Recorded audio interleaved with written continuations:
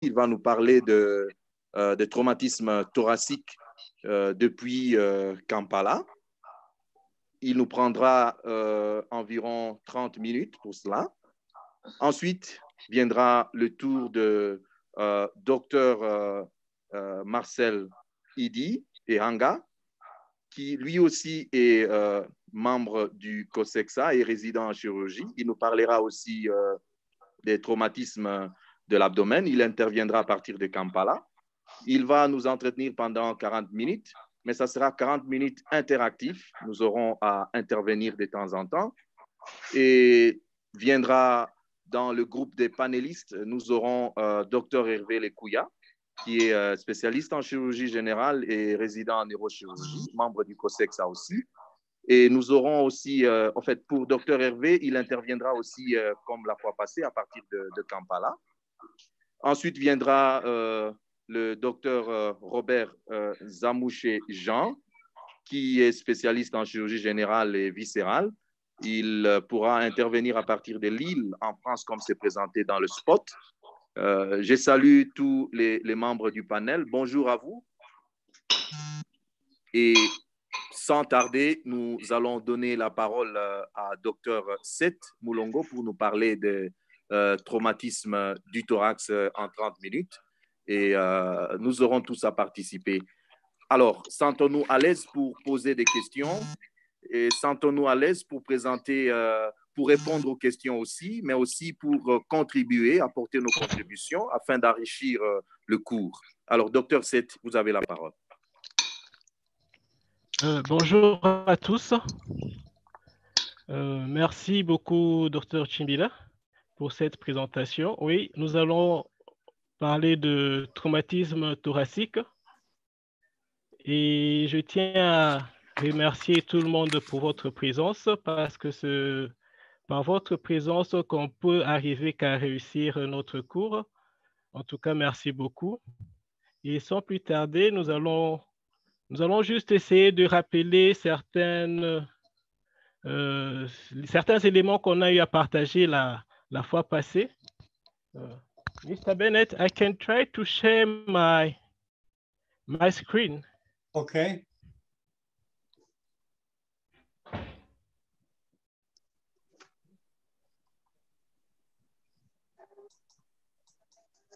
Yes. Je sais Is okay? Yes. Euh, je yes. sais pas. Per perfect, perfect. Thank you. Euh, donc là, nous commençons avec le traumatisme thoracique. Et dans les objectifs, nous devons savoir que nous, nous avons à évaluer et à reconnaître les lésions potentiellement mortelles qu'on peut retrouver au niveau du thorax et comprendre les principes de prise en charge de traumatisme thoracique. Euh, si vous vous rappelez bien, on avait eu à partager l'évaluation primaire à notre séance passée, où on a beaucoup insisté sur l'évaluation et la prise en charge, les ABCDE, l'évaluation de voie respiratoire, l'évaluation du système cardiovasculaire, l'évaluation du système nerveux et puis un examen général. Et puis, on avait eu même à parler sur, euh, insister encore sur le voie respiratoire et le système cardiovasculaire.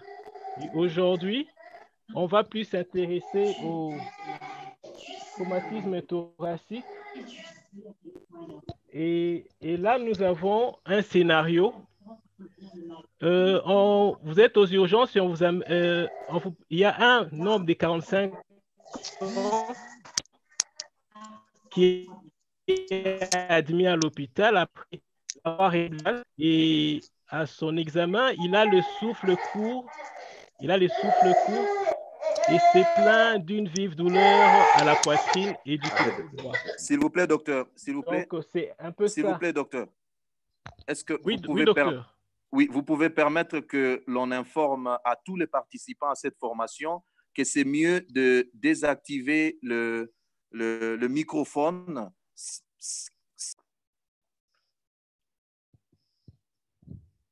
oui qui viennent de par-ci, par-là et qu'il s'arrange pour être dans un endroit un peu moins bruyant. s'il vous plaît. Vous pouvez continuer. Ok, Merci beaucoup, Président. Donc, on a présenté notre scénario et on va voir les questions qui vont avec notre scénario. Et on nous demande, que feriez-vous d'abord? Quel est le geste que vous allez, qu'est-ce que vous allez poser en premier comme geste? Quelles sont les causes possibles d'un souffle court et des douleurs au thorax? Et comment les traiter? Donc, ça, ce sont le- les différentes questions qu'on doit se poser quand on a, quand on a notre patient. Et sans oublier que quand vous pensez déjà au traumatisme du thorax, il faut toujours penser à notre ABCDE. Quelles sont ces lésions-là qui sont menaçantes pour la vie? Et qu'on peut retrouver au niveau du thorax? Ici, on essaie un peu de nous donner certains chiffres par rapport aux lésions du thorax. On nous dit que 25% des décès sont dus, euh, qu'on trouve au niveau du thorax sont à la, euh, c'est 25% des décès sont dus au trauma. Et les décès immédiats, il y a, parmi les, les- décès immédiats, il y a des perturbations majeures du cœur ou des grands vaisseaux. Et puis, on a les décès précoces qui sont dus aux obstructions de voies aériennes, les tamponnades et les aspirations. Ça, c'est en rapport avec les lésions qu'on trouve au niveau du thorax. On l'avait bien dit, notre ABCDE nous accompagne toujours et se retrouvant devant le thorax, nous devons toujours penser à ces lésions-là qui sont fatales pour notre patient. Et parmi ces lésions qui sont fatales, nous devons penser à un pneumothorax, nous devons penser à l'hémothorax, aux contusions pulmonaires, au volet costal, aux fractures de côte, et à cela, on doit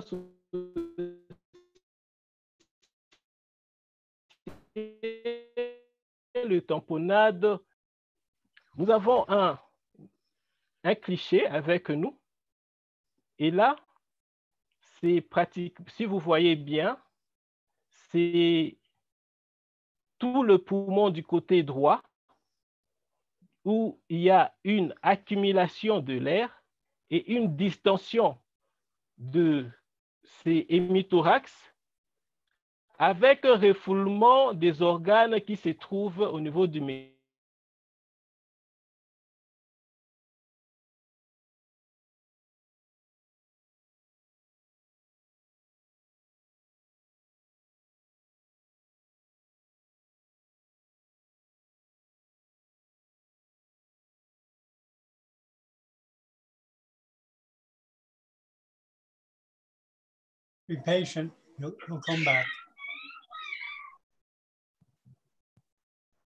Un problème de connexion.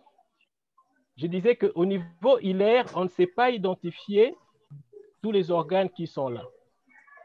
Et ça, c'est pratiquement, nous sommes devant un cas de, de pneumothorax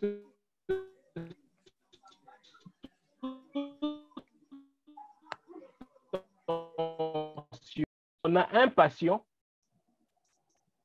quand nous avons un patient qui nous arrive avec des lésions thoraciques, ça signifie que nous devons faire un diagnostic qui est rapide et le diagnostic est clinique. Le diagnostic de notre patient est clinique, basé pratiquement sur la clinique et pas sur la radio. Et nous devons faire des compressions d'urgence pour sauver notre patient. Qu'est-ce que c'est que les pneumothorax? Les pneumothorax, c'est cette accumulation de l'air au niveau de la plèvre qui empêche le patient de bien respirer. Et là, avec comme conséquence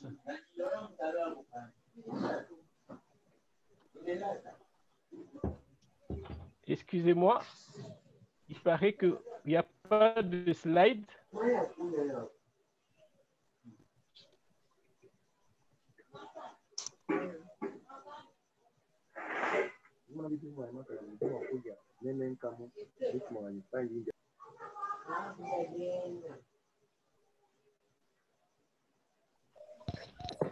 Les slides sont en vue?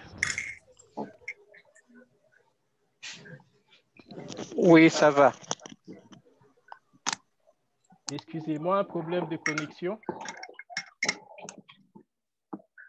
Donc, on était en train de parler de notre pneumothorax. On avait déjà décrit notre radio. Et là, on était en train de parler de qu'est-ce qu'on comprend par euh, un pneumothorax sous tension.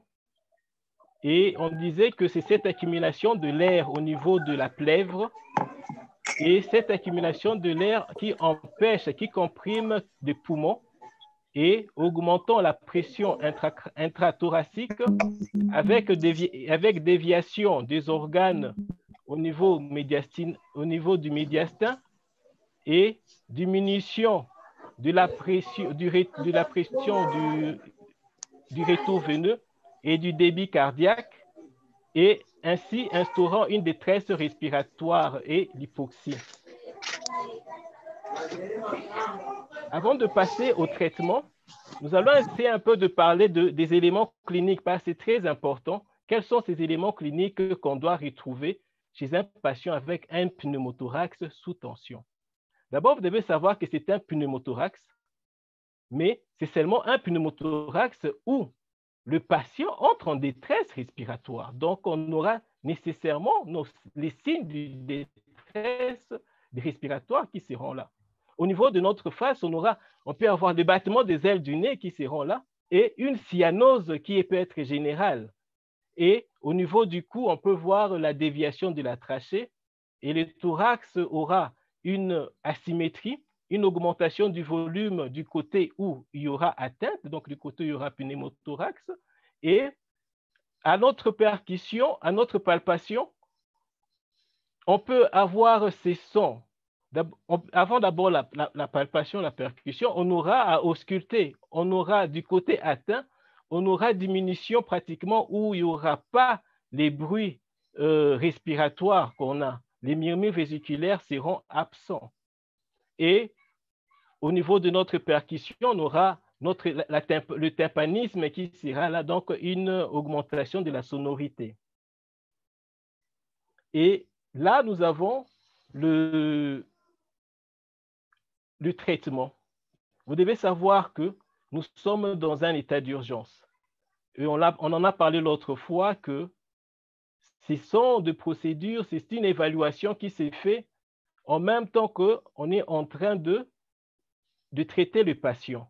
Mais le, tout doit se faire dans, dans une période entre deux minutes et cinq minutes. Donc, ça doit se faire très rapidement. Et parlons de cette prise en charge de notre pneumothorax sous tension.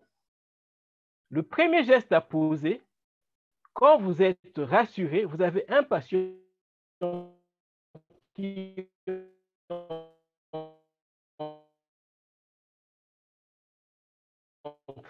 en détraire une radio pour faire une décompression.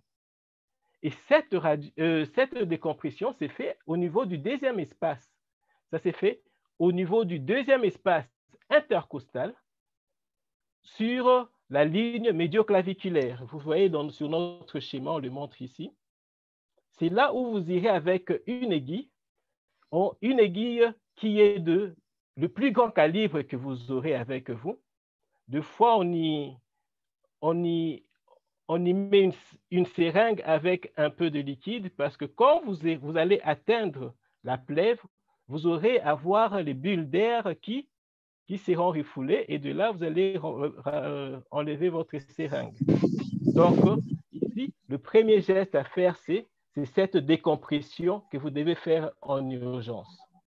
Et après avoir fait la décompression en urgence, vous devez pas, le patient sera soulagé, mais vous n'allez pas vous arrêter juste à cette décompression.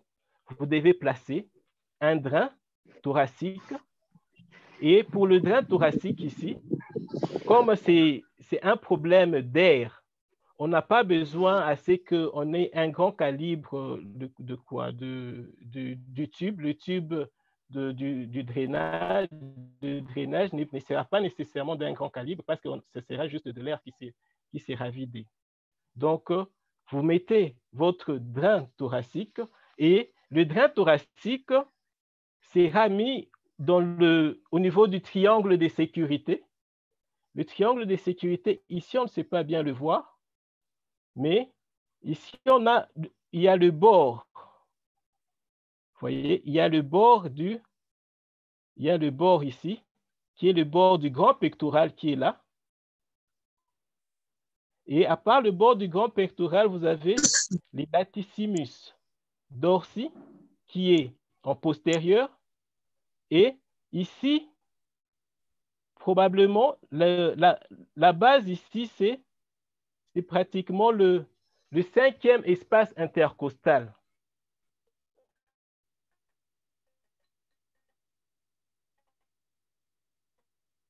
Et cet espace que vous aurez ici, c'est un espace des grands, des grands, vaisseaux loin des organes où vous pouvez introduire les tubes sans avoir, sans endommager de, des autres organes.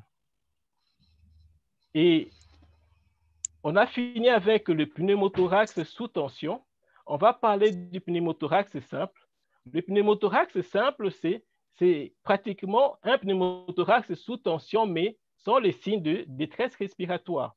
Ça signifie, là, vous avez un patient qui est plus ou moins stable, auprès de qui vous pouvez faire une radiographie et qui va confirmer votre diagnostic. Et ayez toujours à l'esprit que ce patient qui a le pneumothorax, qui est simple, ce pneumothorax peut évoluer sous tension. Et envisagez, envisagez toujours à, à faire aussi un drainage, placer un drain thoracique pour évacuer l'air. Et à part le pneumothorax simple, le pneumothorax sous tension, nous avons aussi le pneumothorax ouvert, une plaie aspirante. On dit que c'est une plaie qui respire. C'est pratiquement une plaie retrouvée au niveau du thorax, mais quand le patient est en train de faire le mouvement de respiration, vous allez voir le souffle ou de, des bulles d'air qui sont en train de sortir de la plaie. Ça, ça signifie que c'est une plaie qui communique directement avec la, plèvre, avec notre thorax. Et par là, il faut avoir à l'esprit que il faut faire un pansement compressif. Et, et ces pansements compressifs, comme vous voyez ici notre image, ça s'est fait de trois côtés en laissant un quatrième côté ouvert qui permet à ce que l'air puisse s'échapper. Parce que si vous fermez le quatrième côté, l'air sera emprisonné. Or, l'air aura la facilité d'aller sous les tissus sous-cutanés et créer une autre pathologie. Nous avons fini avec euh, ce qui concerne le pneumothorax. Nous allons parler maintenant de l'hémothorax. L'hémothorax, c'est pratiquement une accumulation du sang dans la plèvre. Et dans notre clinique, nous aurons aussi, si l'hémothorax est importante, on peut avoir aussi une asymétrie du thorax. Et au niveau de notre auscultation, on aura diminution de bruit respiratoire. Et à la percussion, contrairement à la sonorité ou au tympanisme qu'on a eu dans le pneumothorax, ici, on aura une matité qui sera présente. Et sans oublier que c'est son, c'est le système aussi vasculaire qui est concerné. Ces lésions peuvent nous conduire à un choc, un choc hypovolémique. Alors, il faut penser toujours à, à, préparer, donc à, prendre en charge aussi, à prendre les précautions pour que le patient ne tombe pas en choc. Je crois qu'on avait parlé du système circulatoire, dans la circulation la fois passée, placer les voies de deux voies veineuses de gros calibre et placer du liquide pour prévenir tout choc. Et ici aussi, on a besoin de placer un drain thoracique. Mais ici, le drain doit être de grand calibre. Le gros calibre chez l'adulte, on estime entre le 25, 27 French ou le 38. donc le numéro 38, le numéro 38 ou le numéro 27.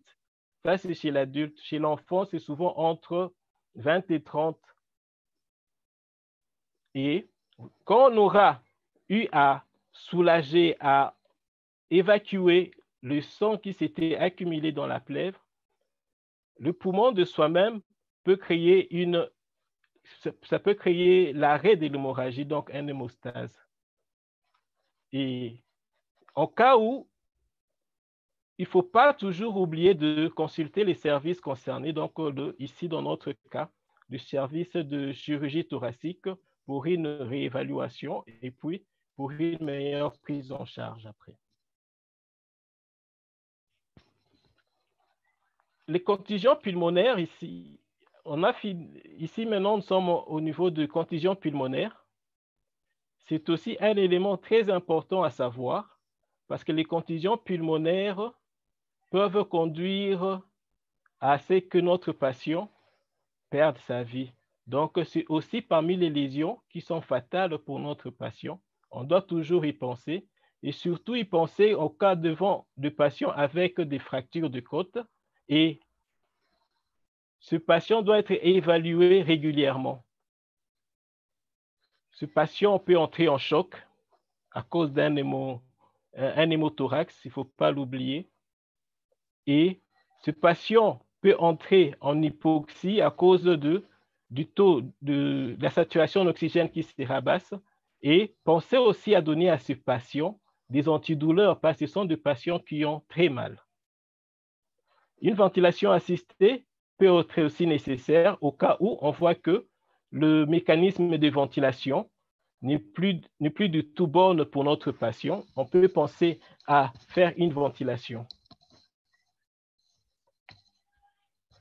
Les fractures de côte, ils sont toujours associés à la contusion pulmonaire pour la plupart des fois et peut être causé par un trauma simple, surtout chez les personnes âgées, avec la fragilité qu'on a de, des os chez les personnes âgées et se souvenir toujours en cas de fracture de côte de donner aussi des analgésiques. Là, on a le volet thoracique. C'est pratiquement une fracture des côtes, comme vous le voyez, avec un segment qui est intermédiaire. Et c'est souvent à l'origine de la respiration qu'on connaît comme être paradoxale. Et ces patients, souvent, ils courent le risque d'une détresse respiratoire due aux causes mécaniques parce que les muscles intercostaux qui sont à ces niveaux ne seront plus fonctionner normalement. Et si les volets thoraciques concernent plusieurs côtes, la plupart des fois, ce sont des patients qui nécessitent des intubations pour essayer un peu de mieux, faire la ventilation de, des poumons du patient. Et on peut aussi penser aux, contusions du myocarde qui sont fréquents dans le plaie, dans le traumatisme pénétrant et deux fois aussi, ça peut, ça peut ressembler à un infarctus du myocarde et peut causer une mort subite. Et si possible, on peut faire aussi un ECG. Parmi les autres lésions, à part celle qu'on vient, à part cela qu'on vient de décrire, à part celle qu'on vient de décrire, on peut avoir une tamponnade péricardique on peut avoir le trauma des gros vaisseaux, on peut avoir une rupture des voies aériennes, on peut avoir le trauma œsophagien, on peut avoir le trauma diaphragmatique.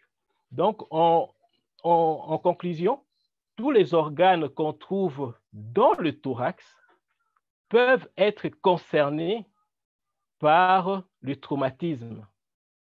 Et on a commencé par citer les traumatismes qui sont les plus concernés et les plus menaçants pour la vie du patient, le pneumothorax sous tension, l'hémothorax et le tamponnade. Et on a ajouté les autres aussi qu'on peut, peut retrouver. Donc, un patient peut avoir une lésion de gros vaisseaux et tomber directement en choc et ça, ça peut aussi menacer sa vie. Donc, je suis pratiquement à la fin de mon exposé.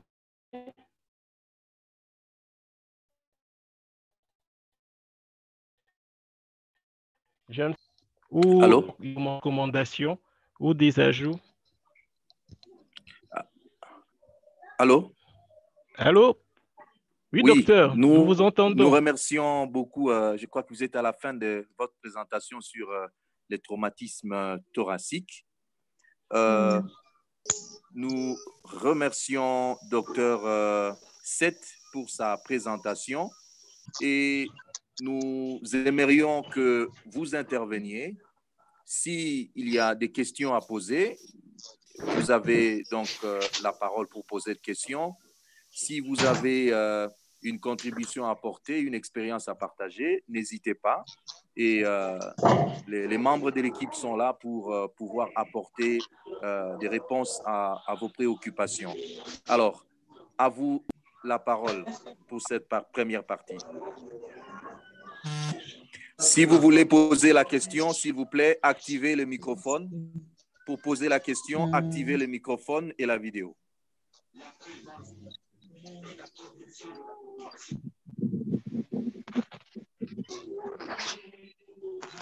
Nous avons tous suivi le trauma thoracique présenté par Dr Seth.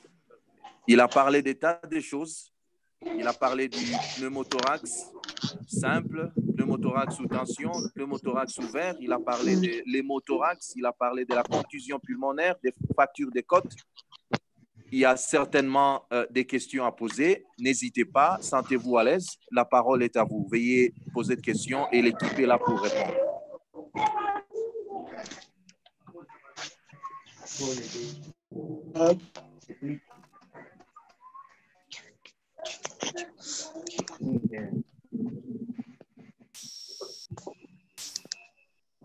Allô? Yes.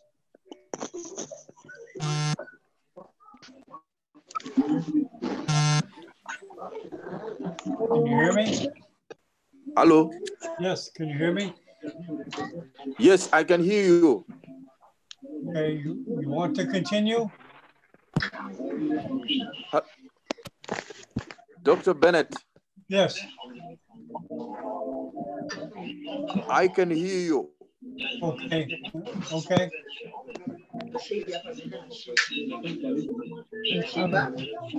Okay, who is presenting?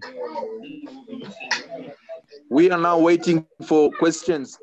Oh, okay, okay.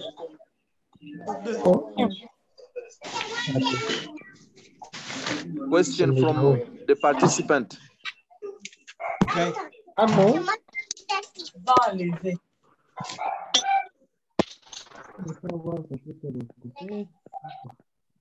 Comme ça, ça ne peut pas marcher. C'est ça, non? C'est même. The line, the line is not good.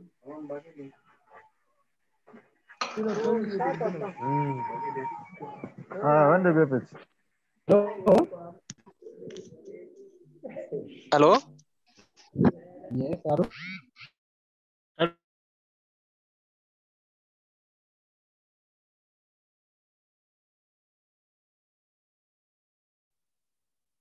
Allô? Allô yes, yes. Yeah. Dr. Bennett, thank you so much. We want, I want to give some uh, explanations to, to participants. Okay, Euh, nous voudrions demander, s'il vous plaît, à l'Assemblée, quand vous n'avez pas la parole, de,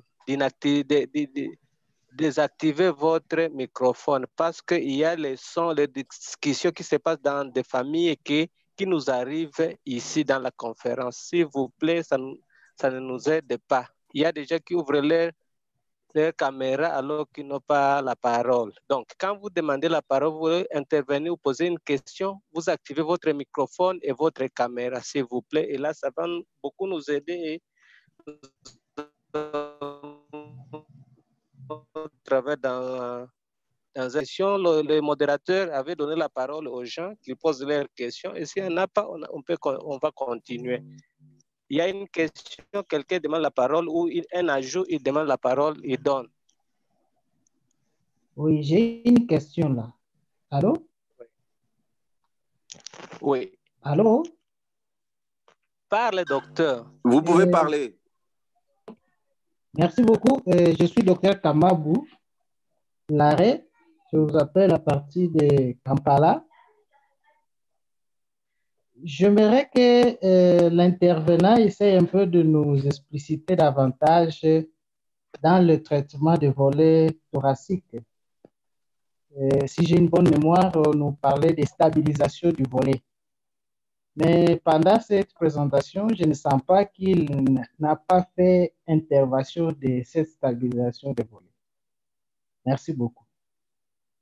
Euh, Est-ce que la question a été bien, bien saisie? Si je comprends bien, Oui. vous voulez... Ah, oui, oui. C'est bon. OK. Vous pouvez répondre alors. Euh, merci beaucoup, docteur. En fait, ici, c'est vrai qu'il y a la, stabilisation du volet thoracique.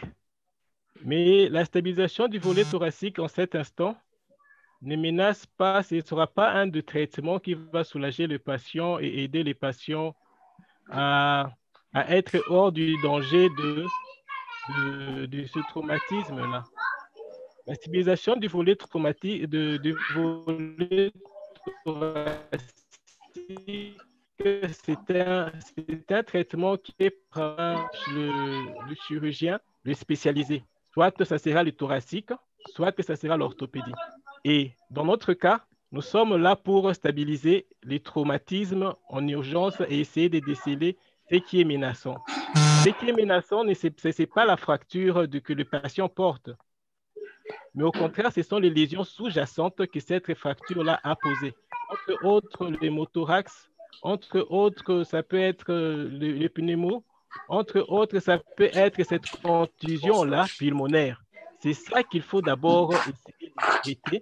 Et une fois que vous aurez stabilisé votre patient, alors vous allez penser à l'envoyer dans un service mieux spécialisé où ce volet thoracique-là sera stabilisé. Je crois que j'ai été un peu plus clair. C'est pourquoi je ne me suis pas attardé à ça, parce que ce n'est pas pratiquement notre objectif. Allô?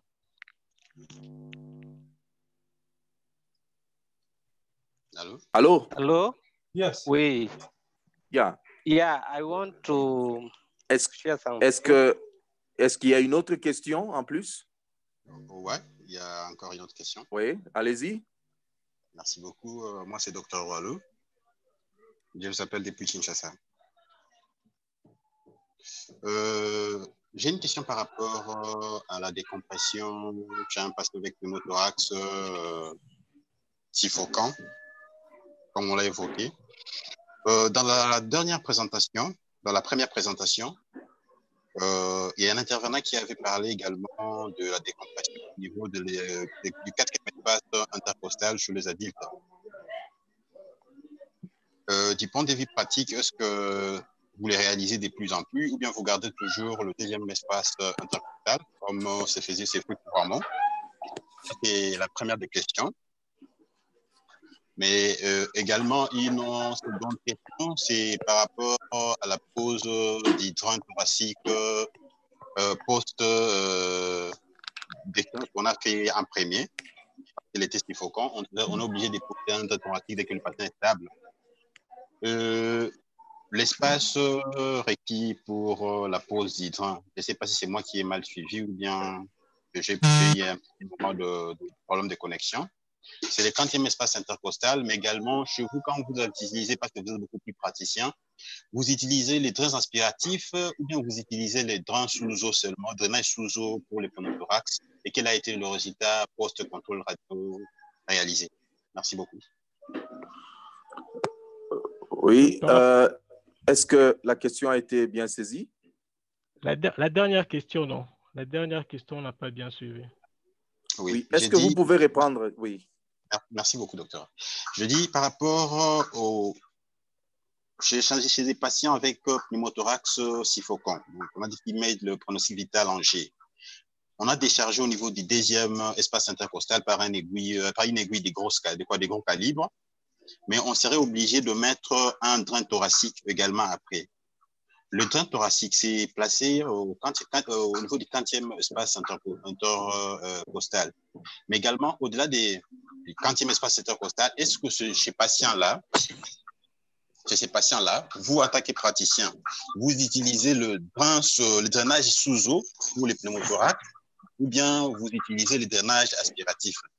Et quel est le résultat après le drainage, par exemple, que vous faites après les radiocontrôles? Vous avez une bonne, euh, un bon, euh, une bonne expansion pulmonaire euh, du poumon sur lequel se trouvait cet épanchement euh, euh, euh, euh, d'air ou comment Merci beaucoup. Je ne sais pas si j'ai été clair. Oui, oui, vous Allô? avez été clair. Allô? Allô? Allô? Allô, docteur, on vous entend. Allô? Oui, oui. Est-ce que j'aimerais juste savoir si euh, le docteur euh, Robert a un mot, un commentaire à faire par rapport à ça aussi. Le docteur Oui, oui. Robert qui nous suit à partir de, de Lille en France. Docteur Robert, bonjour. Allô, docteur Robert. Vous m'entendez? Vous m'entendez là? Oui, docteur Robert. Oui, Oui, je vous entends. oui. Euh, Vous avez bon, suivi la question de notre euh, frère de Kinshasa. Est-ce que vous pouvez faire un commentaire par rapport à, à- à cette question? C'était par rapport, euh, par rapport au, au, au pneumothorax euh, Oui, compressif, c'est ça? Oui, exact. petit problème de connexion. Oui, donc voilà, donc des comprimés comme euh, on a dit au niveau du deuxième espace intercostal, c'est très bien. Pour rappel, toujours passer au bord supérieur de la côte inférieure de manière à pouvoir éviter des plexus sous-costaux qui sont plutôt en dessous de la côte supérieure. Donc toujours passer au bord supérieur de la côte inférieure. Et puis ensuite, donc le drainage, comme l'a dit notre, collègue là ici, le drainage définitif peut se mettre là au niveau de, de la ligne axillaire, là, au niveau euh, euh, moyenne, donc au niveau du quatrième, cinquième espace intercostal pour le drain définitif. Tout comme on peut le voir sur la, la, la- photo. Alors, moi, je conseillerais plutôt le quatrième espace intercostal, si possible. Euh, le cinquième, on peut le mettre aussi, mais il ne faut pas oublier que, surtout à droite, il y a le dôme hépatique. Et nous avons déjà eu euh, quelques personnes qui ont eu des, des, des- des- problèmes avec ça. Donc, je conseillerais le quatrième espace intercostal euh, au niveau de la ligne axillaire moyenne. Est-ce que ça va? C'est assez clair Euh, oui, c'est assez clair, euh, mais il y a une partie également de la question euh, pour laquelle peut-être euh, on n'a pas encore répondu. Oui, re- re- re- redonnez-moi la question, parce que j'avais des problèmes de, de connexion. Des Il y a connexions. une je autre partie. Oui, oui. Il y a une autre partie de la question. Oui, effectivement. Donc, c'est par rapport au drainage définitif qu'on place après. Oui, Vous, vous, en tant que praticien, vous qui l'exercez de plus en plus, Oui. le drainage euh, sous eau, vous faites, pardon, je voudrais savoir si vous faites les drainages sous eau ou bien vous faites les drainages aspiratifs à votre niveau. Et quel Oui, serait, et quel est le résultat que vous avez si vous les faites sous eau après des radios de contrôle chez ces patients-là? Est-ce qu'il y a une très bonne expansion pulmonaire après ou bien cela nécessiterait à tout prix un drainage sous eau euh, pardon, un drainage aspiratif pour permettre à ce que le poumon s'expande complètement et pour ne pas avoir des séquelles après? Bon, en tout cas, il y a un petit biais. hein. Je- un petit biais, c'est que moi, je suis euh, au- malheureusement, heureusement, au CHU de Lille, où nous avons des pleurévacs. Je ne sais pas si vous savez ce que c'est. Ce sont des, des drainages Oui. aspiratifs tout faits. Et nous n'utilisons que ça. Parce que Oui. c'est ce que nous avons et c'est ce que nous trouvons euh, optimal. Quoi. Le drainage sous pleurévac aspiratif. Maintenant, je sais que dans l'opposition à Kinshasa, c'est parfois difficile d'avoir ce genre de dispositif. Et donc là, parfois, on est obligé de faire les, les drainages avec, euh, euh, euh, avec la bouteille, là, comme vous faites.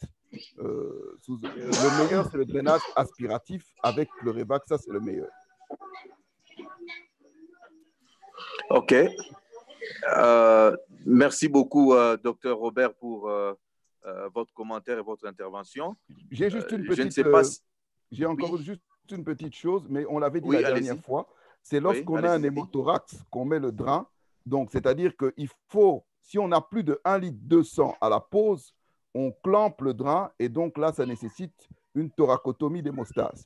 c'est soit 1200 cc à la pause, soit 300 cc pendant trois heures successives. Ce sont les critères pour dire là, nous sommes dans un hémothorax qui risque de ne pas se tarir. Euh, merci beaucoup, euh, docteur Robert, pour euh, ces, cet ajout. je ne sais pas si parmi les participants, il y a encore d'autres questions en rapport avec ce thème, ce thème intéressant. S'il y a des questions, n'hésitez pas à les poser. Je, je, voulais commenter encore pour les données sous Oui, oui, docteur Hervé. Allez-y, docteur Hervé. C'est vrai que les, les, les et offre un peu des, des avantages euh, sur le plan euh, contrôle de pression et puis balance des, fluides. Mais tout, tout d'abord, quand vous êtes dans, en urgence, euh, vous, allez, vous allez considérer ce que vous avez.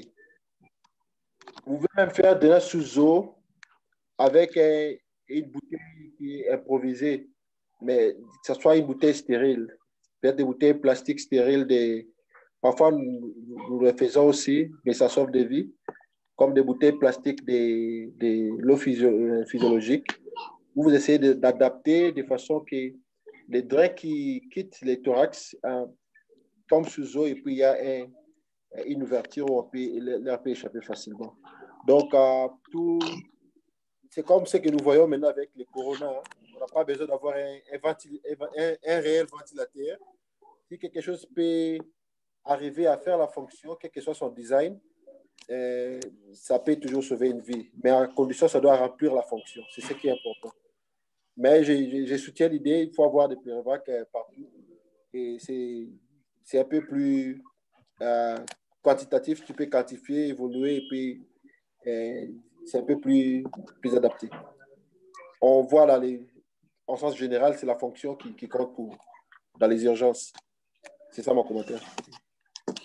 Merci beaucoup, euh, docteur Hervé. Merci pour euh, ton commentaire. Et nous donnons encore la parole à quelques questions avant de, passer au thème suivant. Y a-t-il des questions? Allô? Allô? Allô? Oui, allô? Oui. Docteur, Idi? Oui? Oui, je voulais euh, donner un petit commentaire. Oui, allez-y nous devons, dans le cours ici des traumatismes, donc les traumatismes, nous sommes en train de vouloir tous comprendre une chose, l'urgence. Nous sommes aux urgences, nous sommes dans le, au département des urgences. Les malades, nous devons être prompts dans nos actions. Dans la première heure, on appelle ça le gold time Donc, l'état en or et l'arrivée du patient à l'hôpital. Il y a beaucoup de choses qui se passent. Il y a, les malades perdent beaucoup de sang. Les malades est en détresse respiratoire. Les malades, il a, il a tout ça comme problème. Alors, les actions que nous devons poser doivent être urgentes pour essayer d'aider un peu le patient qui nous arrive aux urgences. Et c'est là dans la première heure. Parce qu'au-delà de la première heure, c'est déjà des dommages qui sont déjà arrivés euh, dans l'organisme du, patient. Alors, dans la première heure, je ne vois pas le setting que nous pouvons avoir dans nos pays africains ou surtout chez nous. Euh,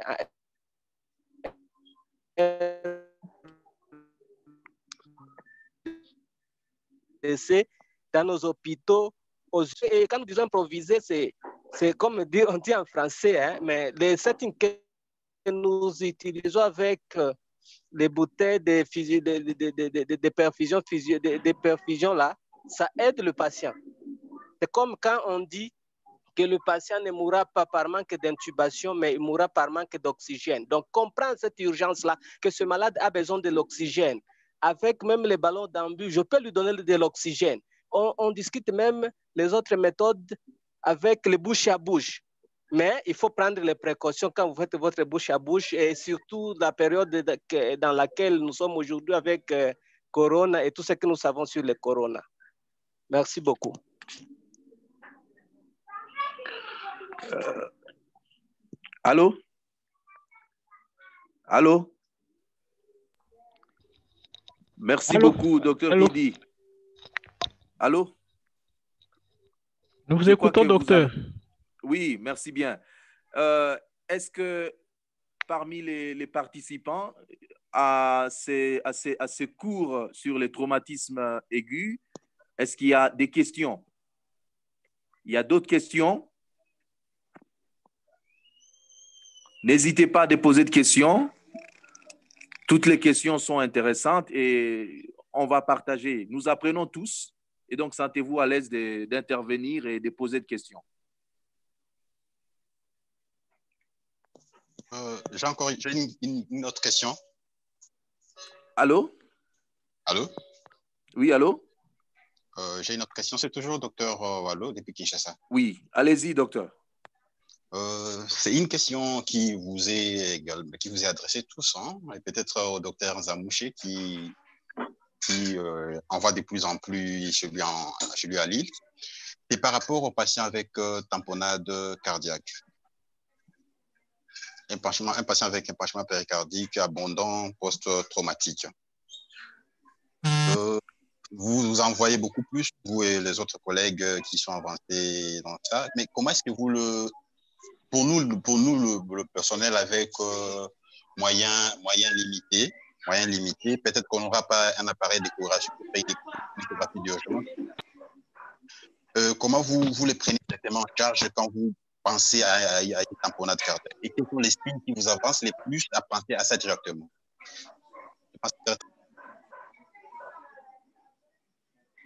Allô? Allô? Vous Allô? Oui, oui. Donc, oui, bon. docteur. À, Oui, à un moment oui, donné, on a, on- à un moment donné, on vous a perdu, mais maintenant, là, je- on vous capte encore. Oui. D'accord. ben, euh, donc, je, je voudrais répondre à la question du confrère. Là.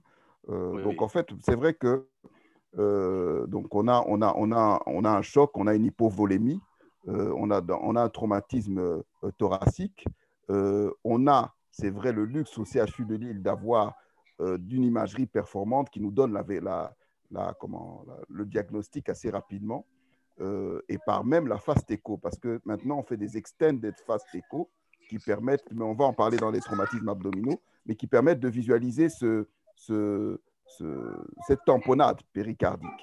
C'est très difficile quand on n'a pas euh, d'échographie de deviner que le choc du patient est dû à une tamponnade. C'est parfois c'est très difficile, même si au scanner on peut voir un, au- à la radio thorax on peut voir une cardiomégalie, mais c'est très difficile.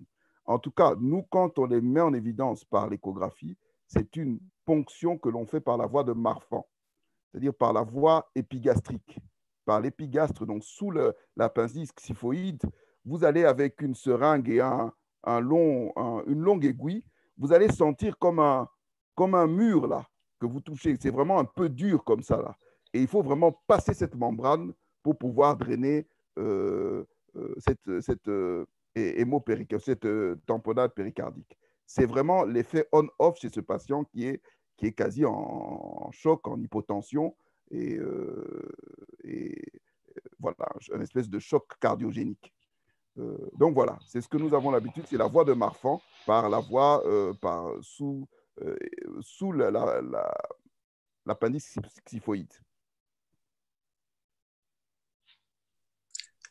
Doc- Docteur John Moussa, Oui, oui, je, je voulais aussi poser une question. oui, Parce allez qu'il y a, il y, a, il y, a, il y a les risques, si vous faites ça sans éco-guidance, oui, il y a les risques que vous allez drainer la cavité. euh, cardiaque. oui, abs- par On ne vous capte pas Dra- très bien. drainer la, la cavité. Vous sortez m'entendez? entrecoupé. Vous Oui. sortez entrecoupé, docteur.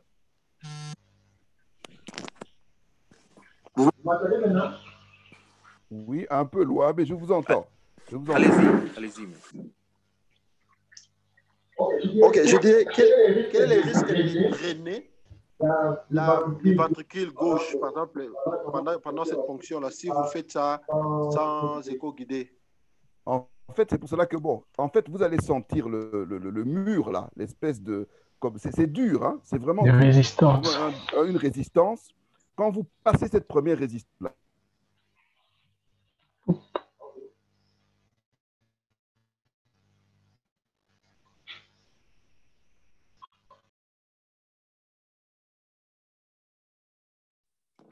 Parce que je, je, je, voulais insister avec un commentaire que si on ne tient pas compte toujours de l'échographie durant la ponction, on a un, on a un grand risque d'être dans les mauvais endroits et drainer, croyant qu'on est tenté de drainer les, les, penchements, mais plutôt on est tenté de drainer la cavité elle-même. Je sais que je voulais insister dans ces points-là.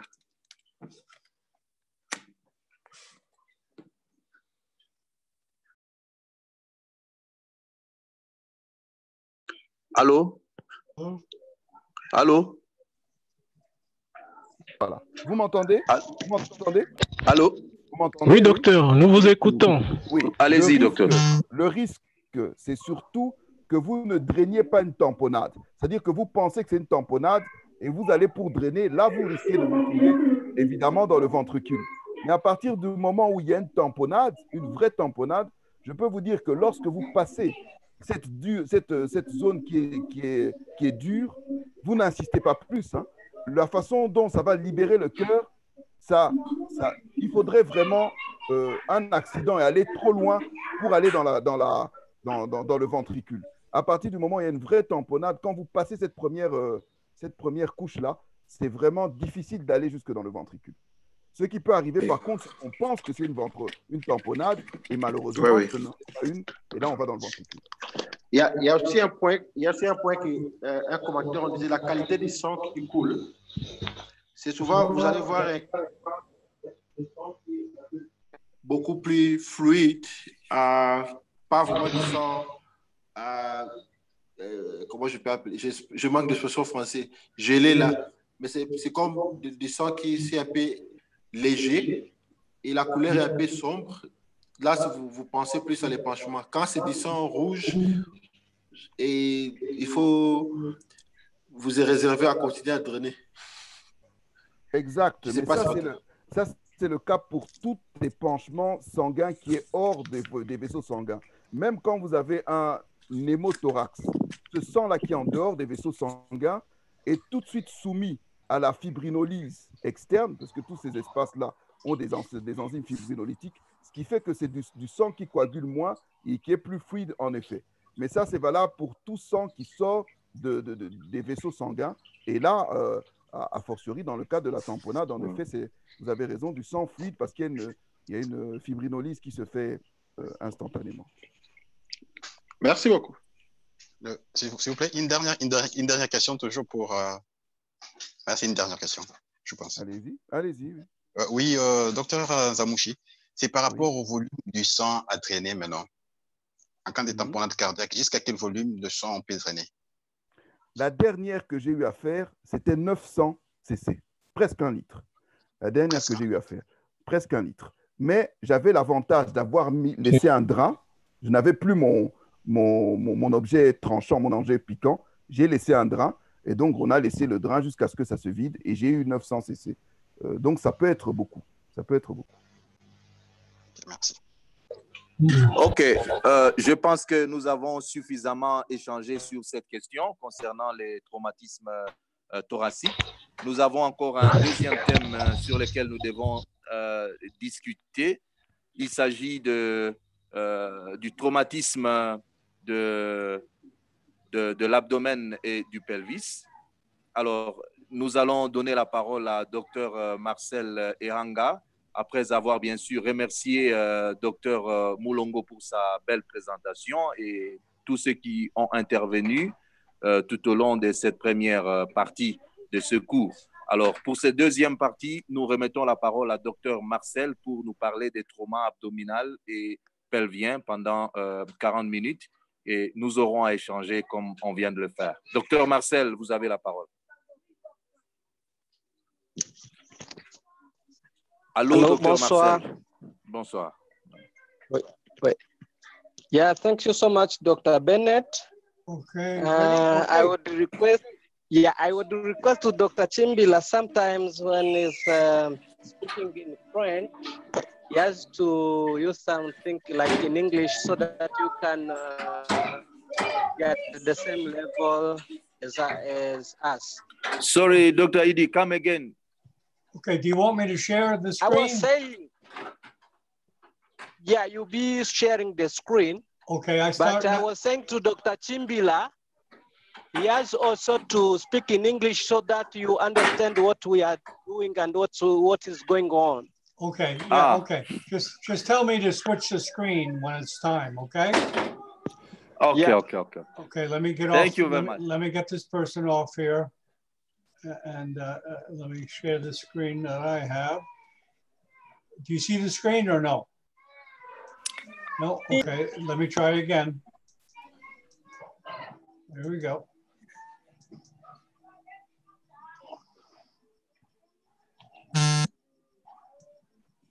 See, okay? So number 105, yeah, I'm seeing Okay, 105. okay. Wow, you're making me work.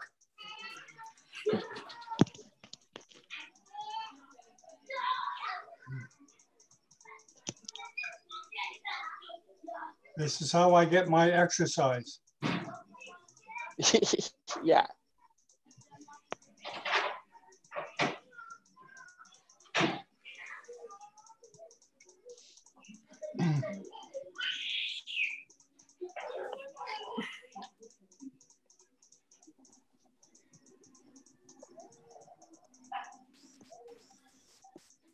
Yeah, yeah.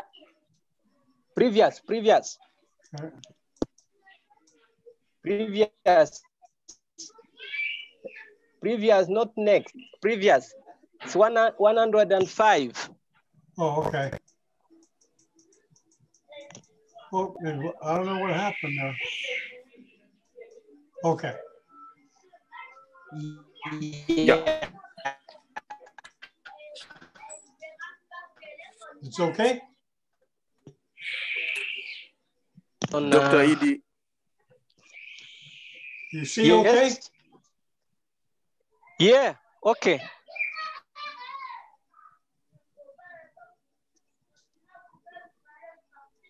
Bonsoir encore euh, une fois de plus et merci beaucoup pour la participation et toutes les interventions. Ici, l'objectif, c'est de partager et faire des mises à jour parmi nous d'abord, qui sommes déjà médecins, informer ceux-là qui peuvent avoir besoin de certaines informations et préparer beaucoup plus ceux qui sont encore à la faculté pour ce qui concerne euh, la prise en charge des urgences parce que notre pays en a besoin. Notre pays a besoin de cela et on doit le faire pour euh, espérer un avenir meilleur. Je suis en train de parler de tra- traumatisme thoracique.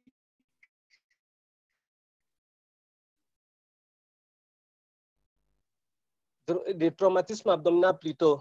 Mais je voulais euh, faire un petit commentaire pour mon, ma dernière présentation. J'avais présenté, euh, beaucoup de gens étaient partis et il y a quelque chose comme un lapsus qui s'était introduit quand je parlais des, des abords veineux de gros calibre. Quand je parlais de gros calibre, j'ai parlé de G18 comme euh, un petit calibre, alors que c'est le c'est G14, 16, 18 que nous pouvons avoir disponible avec nous et qui sont des grands calibres. C'est plutôt 20 et 22 qu'il ne faut pas utiliser en situation de, de patient. Aujourd'hui, nous sommes en train de, de partager sur les, les, les, les- les traumatismes abdominaux. Et pour cela, on a des objectifs comme euh, toujours. Nous voulons savoir reconnaître les lésions abdominales et pelviennes potentiellement mortelles en cas de traumatisme. Parce qu'on ne peut chercher que ce que l'on connaît. Prenez quelqu'un qui ne connaît rien de médecine, mettez-lui devant quelqu'un qui vient de, de, de subir un accident, il ne saura rien avoir. Il aura seulement pitié, il peut même pleurer avec le malade. Mais le personnel soignant doit maîtriser ce qu'il cherche pour bien prendre en charge le patient. Il doit maîtriser les principes de traitement des lésions abdominales, comme nous sommes dans le cas des lésions abdominales. Next.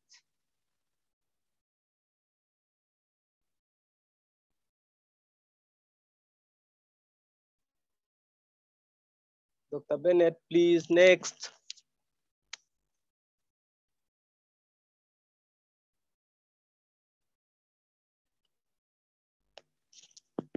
Hello, Dr. Yeah.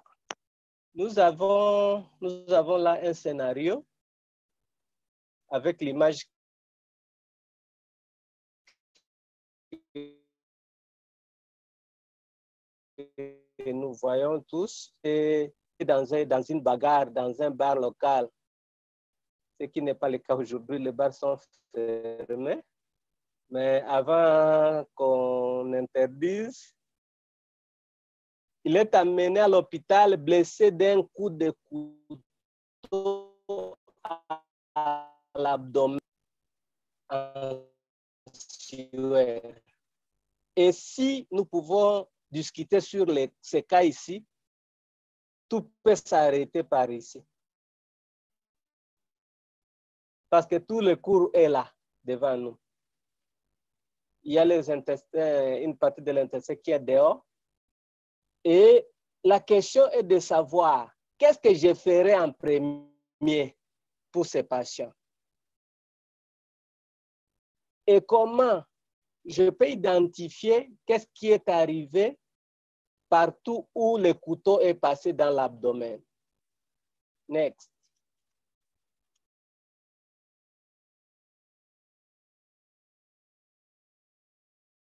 Next, please.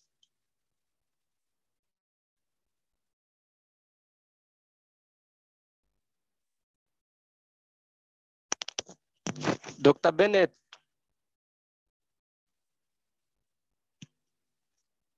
Hello. Yeah, okay, just hold on.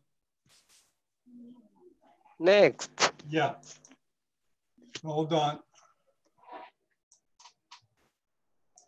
Okay, wait. Wait, a, hold on, wait a minute.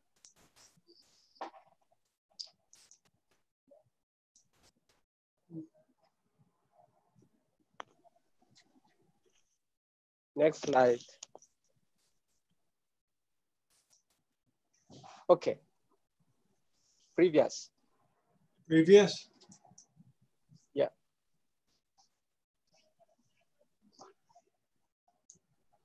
Next. Previous, previous, previous, until Okay. 106. Okay. Hold on.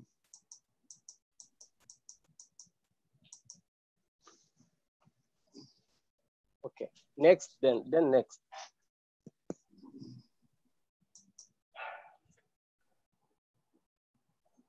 OK.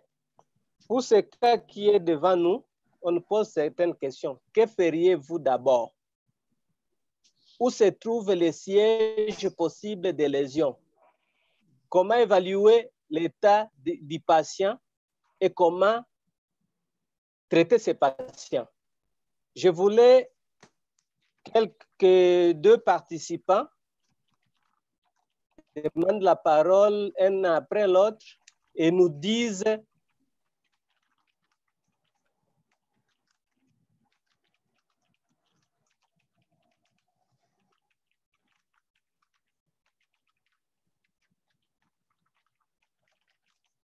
qu'est-ce que si ce patient était dans, entre ses mains, Hello, qu'est-ce qu'il Dr. Bennett. We cannot get, we cannot listen. Oui. Okay, I'm sorry. Is it po- yes. Yeah, I'm trying to run business while I do this. I'm sorry, hold on. We try again. Okay.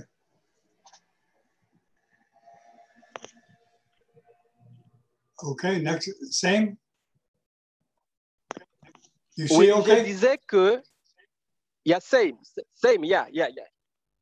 Je disais que un participant peut euh, demander la parole et répondre à ces questions qui sont là.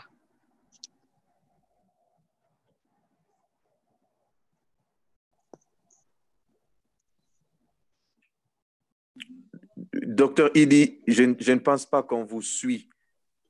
Euh, Docteur Bennett, Next one. I think I think people are not getting properly uh, Dr. Edie's presentation because the con- the network, the line is not very very clear. Yeah. Okay. Okay. What do you want to do? You want to finish it? Let's finish it. Okay. There are a lot of interruptions. Okay. What do you want to do? You want to start over or do it over again tomorrow or what do you want to do? Allô? Allô? Yeah. Can you hear me? Mais nous entendons, nous entendons. Nous euh, entendons. Vous vous ent- Okay. entendons. Okay. What do you want to do? So What, Yeah, what- we are. We, uh, now it's it's okay. Now it's okay. It's okay. Okay. Okay. okay, okay. okay. Oui, j'ai demandé à un participant d'activer son microphone et demander la parole et répondre à ces- aux questions qui sont là. Un échange. Allô? Oui. Ouais, c'est Dr. Wallo depuis Kinshasa. Oui. Euh, oui, euh, c'est par rapport au cas clinique que vous nous présentez. Donc, vous, on se tient, on se tient d'abord aux ABC, aux ABC qu'on doit, euh, on doit prendre, qu'on doit répéter tout, en recevant un patient aux, aux urgences pour question de traumatisme ou autre. Mais déjà, si dans, du point de vue A, on n'a rien, ça veut dire les voies aériennes sont libres, parce qu'un patient qu'on a déjà examiné, les voies aériennes sont libres, ainsi que du point de vue euh, B, on n'a pas, du point, euh, euh, du point de vue de, quoi de voies aériennes basses, il y a une bonne ventilation respiratoire. Donc, ces patients, comme nous l'avons vu là-bas, vous avez dit qu'il était en sueur. Donc, c'est un patient chez qui il faudra d'abord prendre des abords venus d'urgence, parce qu'un patient en sueur est pâle, euh, sûrement qu'il est, qu'il est en état de choc. La sueur, c'est un élément euh, évoquant un état de choc chez un patient et qui est probablement un choc euh, hémorragique. Donc, ce serait mieux de lui prendre deux abords veinés. Et après avoir pris deux abords veinés, se lui prélever le sang pour la compatibilité ainsi que le dosage de d'hémoglobine en premier, mais également les remplir par tout ce qu'on peut avoir déjà en premier, entre autres les, les cristalloïdes qu'on peut utiliser directement chez, ces patients-là, en attendant qu'on ait la compatibilité du pour essayer de corriger. Mais également, au-delà de tous ces éléments-là, dès que le patient, euh, euh, dès qu'on est en train de, de, rendre le patient plus stable, on cherche à, euh, parce qu'on a déjà identifié le, point de, de, quoi, de quoi, de, d'entrée de l'objet contondant, on a des anses intestinales qui sont dehors, et probablement c'est un parent ombilical, si je vois bien. C'est un parent ombilical gauche, probablement. Et chez ces patients-là, on ne sait pas l'objet contondant avec était avec quelle longueur. La longueur de l'élément de, l'objet contondant peut également nous faire une idée sur le type de lésions qu'on a. Moi, ce sont des lésions qui ont euh, atteint le, le, qui ont, ce sont des, on a des lésions de vaisseaux. Apparemment, il y a des vaisseaux qui sont en train d'essayer, il y a ces éléments contondants.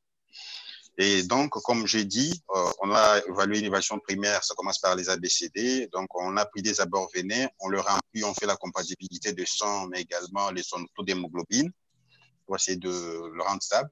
Et puis, euh, moi, en premier, ce que je ferais, ça veut dire, je, je n'ouvrirai pas, je n'ouvrirai pas la plaie, non plus, je ne remettrai pas les anses dans, dans l'abdomen je fixerai les anses par un fil que je peux avoir, je mets un fil qui est stérile. Je fixe les anses, et je laisse ce fil dehors parce qu'il peut me permettre d'identifier euh, lors d'une laparotomie le point de les, le niveau de lésion, le niveau où se situeraient les lésions impéropératoires. Donc c'est ça mon intervention. Merci. Oui, merci beaucoup, docteur. Vous avez dit, entre autres, les, pour les liquides de remplissage, vous avez dit, entre autres, les cristalloïdes. Pouvez-vous proposer autres liquides que vous alliez donner pour justifier les entre autres?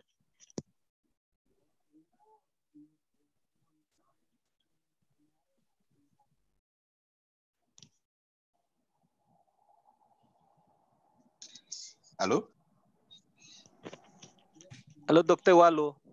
Oui, je vous suis, oui, vous dites?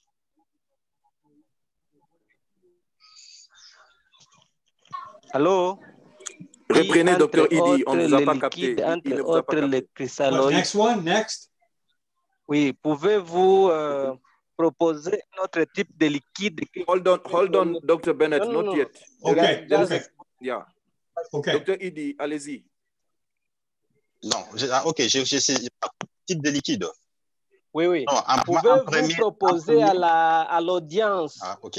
un Oui, mais en autre type de liquide que vous pouvez donner Voilà. euh, à ces patients qui est vidéo Bon, et, et- et c'est un patient Pardon? chez qui on n'a pas, tout- on n'a pas tous les paramètres vitaux, d'accord? Tous les paramètres vitaux ne sont pas là, mais nous voyons quand même que ce patient.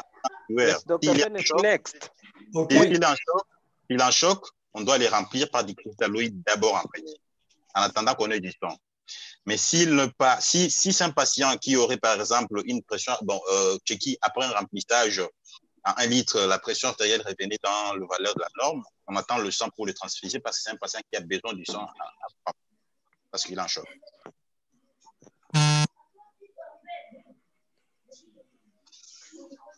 Allô?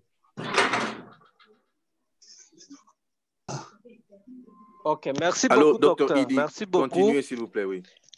Et merci beaucoup pour votre euh, participation. Yes. Continuez, continuez, docteur Idi.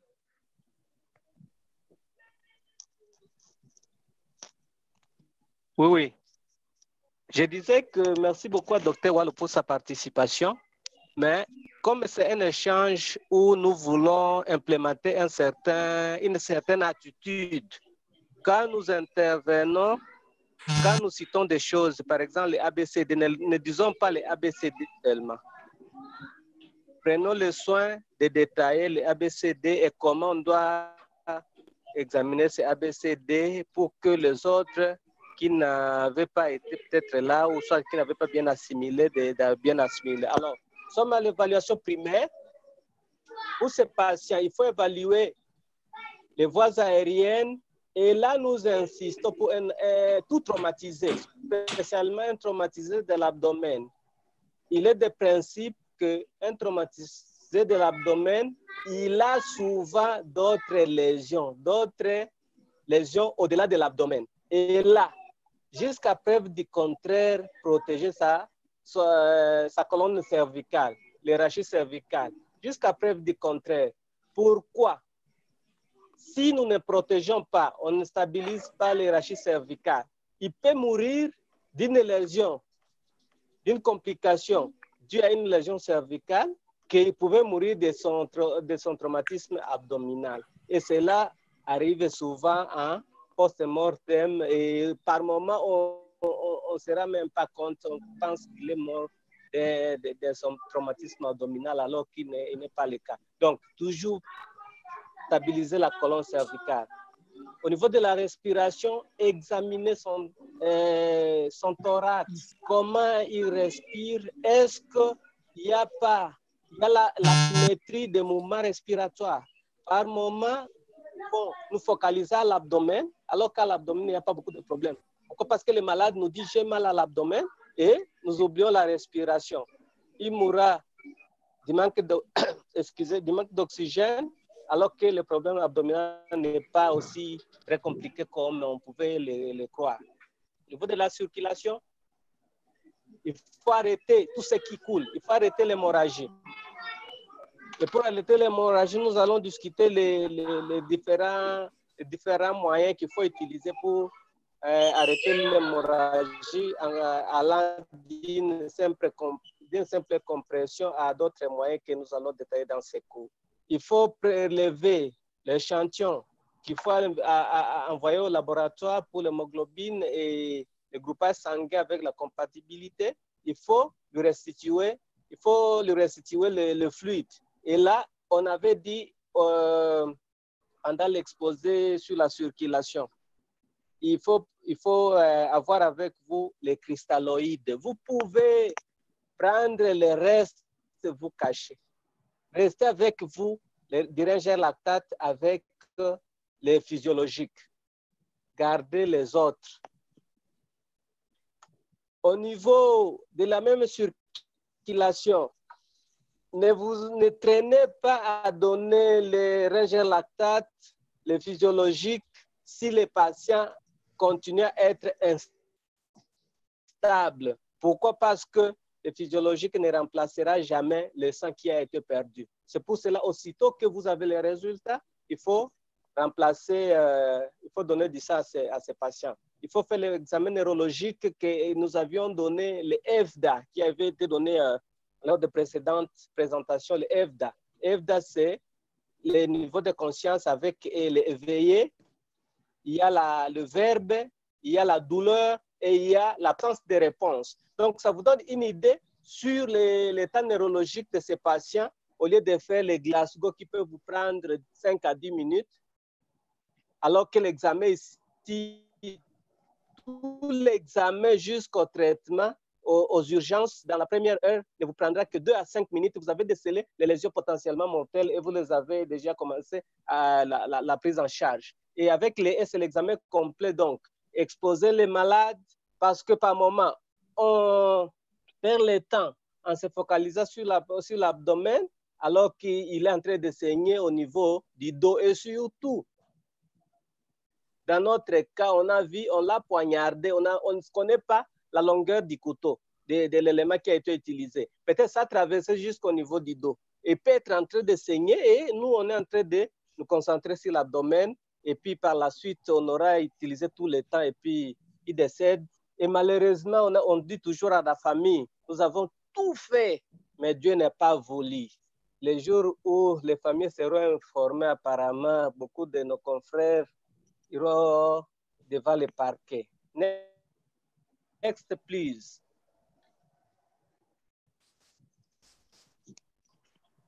Dr. Bennett, next. Yes. Et dans les traumatismes, nous disons ici que c'est la région la, souvent atteinte. Pendant les bagarres, les gens ont toujours tendance à se, à se, à se taper sur l'abdomen, le couteau, surtout à Kinshasa, vous, avez la bonne expérience avec euh, nos frères là qui, ont, qui se font appeler Kuluna. L'évaluation peut être difficile si on ne sait pas ce qu'on va chercher on ne connaît pas dans quel type de traumatisme tel organe peut être le plus souvent atteint. Et comme nous avions parlé dans le chapitre sur la circulation, au niveau de l'abdomen, il y a des endroits où il y a des hémorragies disséminées, disséminées ou donc des hémorragies occultes. Ça peut s'accumuler alors que euh, le personnel soignant ne se rend pas compte important de répéter l'évaluation. Tant que le patient n'est pas stable, il faut toujours répéter son évaluation. Ça ne coûte rien de retourner au niveau de A. Ça ne coûte rien de retourner au niveau de B. Vous pouvez être au niveau déjà de C et quand vous constatez que le patient est instable, il faut retourner, réexaminer le patient. Nous avions encore dit, il faut communiquer avec les autres équipes. Vous êtes aux urgences, vous n'êtes pas chirurgien. Il y a l'équipe de la chirurgie qui est là. Ne dites pas que c'est mon patient. Le patient n'a jamais été pour un médecin. Communiquez avec l'équipe chirurgicale, donnez la bonne information. Nous avons un tel patient qui présente un traumatisme abdominal avec, par exemple, éviscération, comme le cas qui nous a été présenté ici. Et là, l'équipe chirurgicale déjà se prépare, ils savent que nous avons affaire à tel type de patient. Et là, on va insister beaucoup plus sur la précision quand on va parler de la gestion des catastrophes. Quand le patient, c'est telle couleur? Et là, ce sont les codes des patients, c'est urgent. Tant de patients, ils peuvent encore attendre. Next. OK. Yes, next. Il faut connaître les mécanismes lésionnels. Il y a des lésions pénétrantes et des lésions non pénétrantes. Il faut connaître, quand il s'agit de lésions pénétrantes, quels sont les types de lésions que nous pouvons avoir. Quand il, s'agit de non pénétrantes, qu'est-ce que nous pouvons avoir?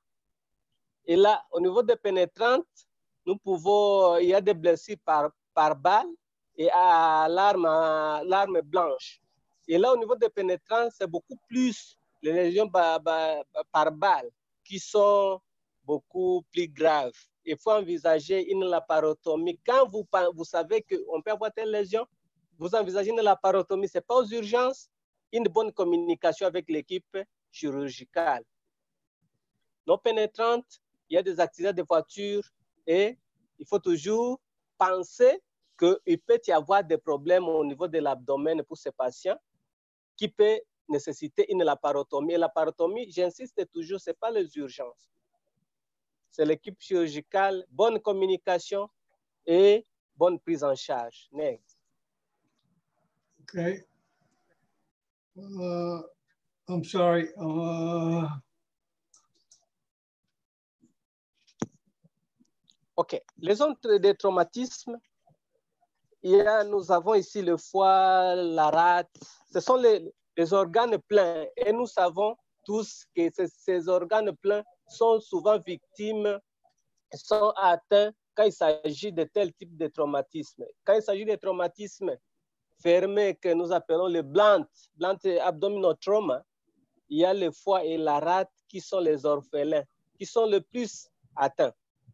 Il y a les tractus gastro-intestinal, il y a le pancréas, il y a les tractus urinaires et intestinaux qui peuvent tous être concernés quand il s'agit de traumatismes, que ce soit fermé ou ouvert. Next.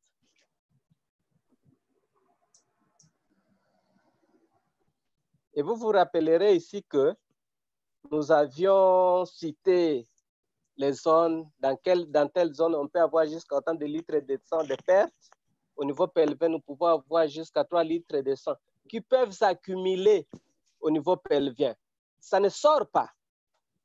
Et là, si on ne sait pas qu'il faut bien évaluer les patients, il faut évaluer, il faut faire une bonne évaluation primaire.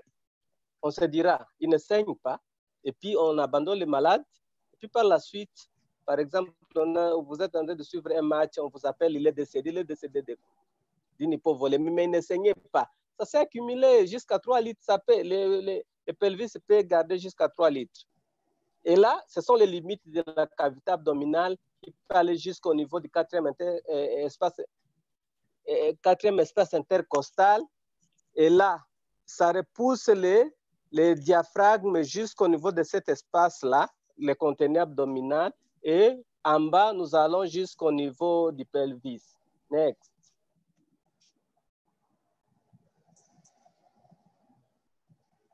Et ces, landmarks-là, nous nous les donnons pour que nous puissions savoir si nous avons un traumatisme abdominal qui est pénétrant à tel endroit, c'est tel, organe qui peut être atteint, suivant les, cadrans que nous pouvons avoir au niveau, au niveau de l'abdomen.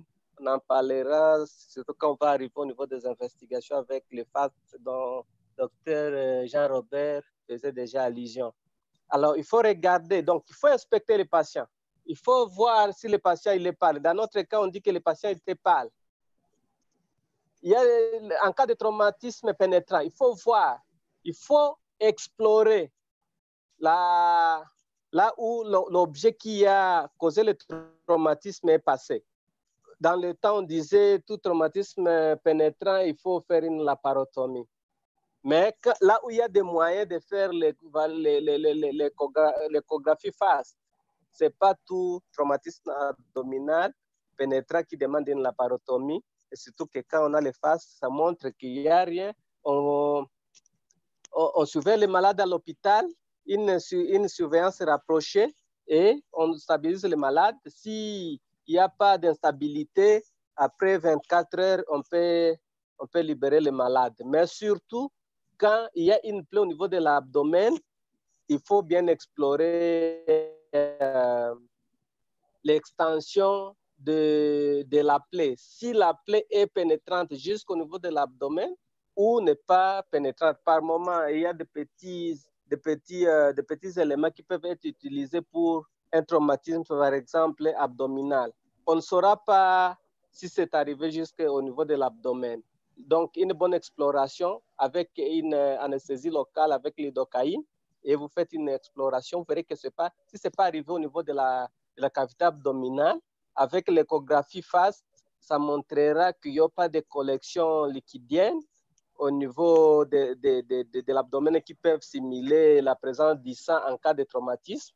Et là, on peut surveiller le malade au lieu de faire une laparotomie qui sera sans raison. Mais quand on n'a pas d'équipement, il faut, il, faut, il faut faire ce qu'on appelle le péché par excès au lieu, par défaut ou par excès. Il ne faut pas dire que comme euh, on ne voit pas que c'est arrivé au niveau de l'abdomen, on laisse. Non. Mais quand il y a, pas, il y a d'équipements, on a les faces.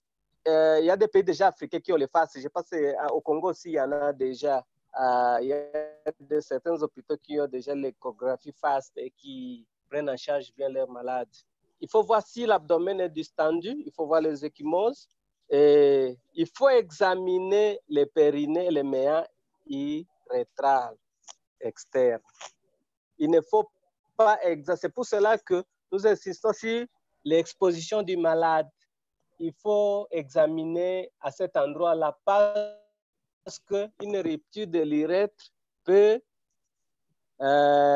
être survenue pendant le traumatisme et quand vous n'examinez pas, c'est un malade qui va vous causer des problèmes, des ennuis par la suite alors que vous avez donné du temps à examiner ce malade. Next. Next, please. Oh, I'm sorry. I'm sorry.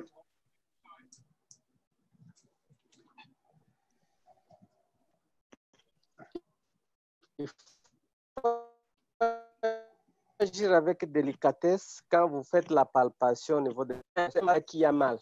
C'est un malade traumatisé. Partout où vous pouvez toucher, il peut créer des douleurs.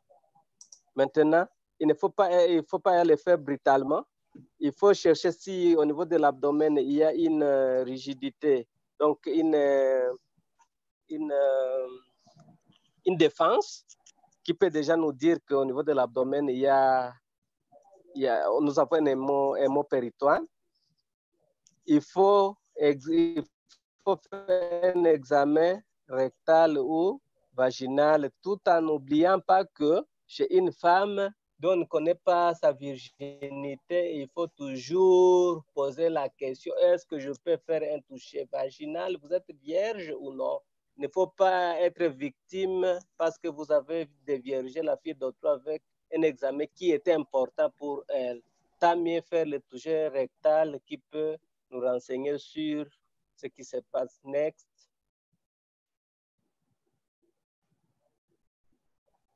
Next slide, please. Okay.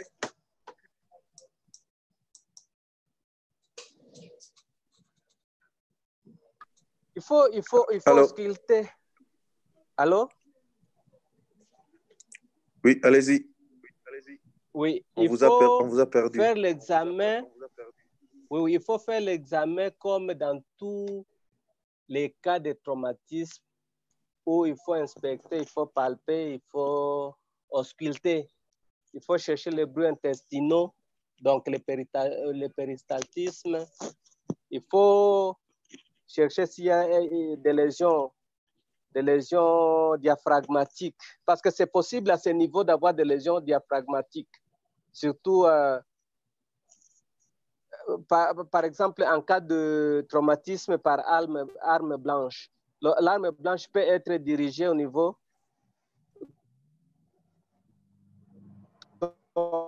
donc, la direction qui prend la direction d'en haut, et ça peut traumatiser le diaphragme. Ou soit le traumatisme par balle, ça peut ça peut dans sa trajectoire entrer jusqu'au au niveau de, du diaphragme et faire que le conteneur abdominal se retrouve dans, dans le thorax. On a déjà eu des cas.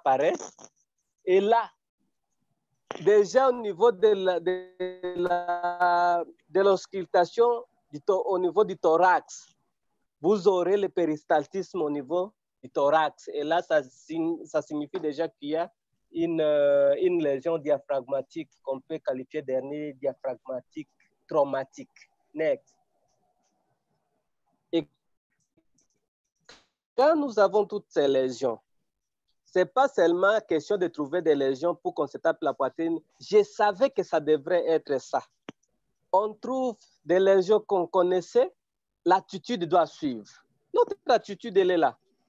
On a parlé des d'évaluation primaire.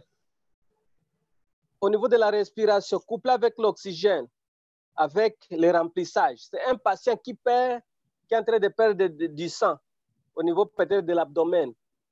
Il faut remplir, il faut faire un remplissage vasculaire, il faut penser à transfuser le patient, il faut toujours communiquer avec l'équipe et donner un bon rapport.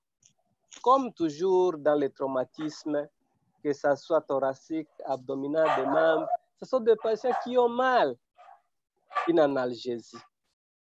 Une analgésie, elle est très importante. Pourquoi? Parce que la douleur peut nous faire passer à côté d'un diagnostic et que nous retrouvons quand le malade est déjà en coma et puis ça n'aide pas les malades, alors qu'on allait trouver ça dans la première heure. Next.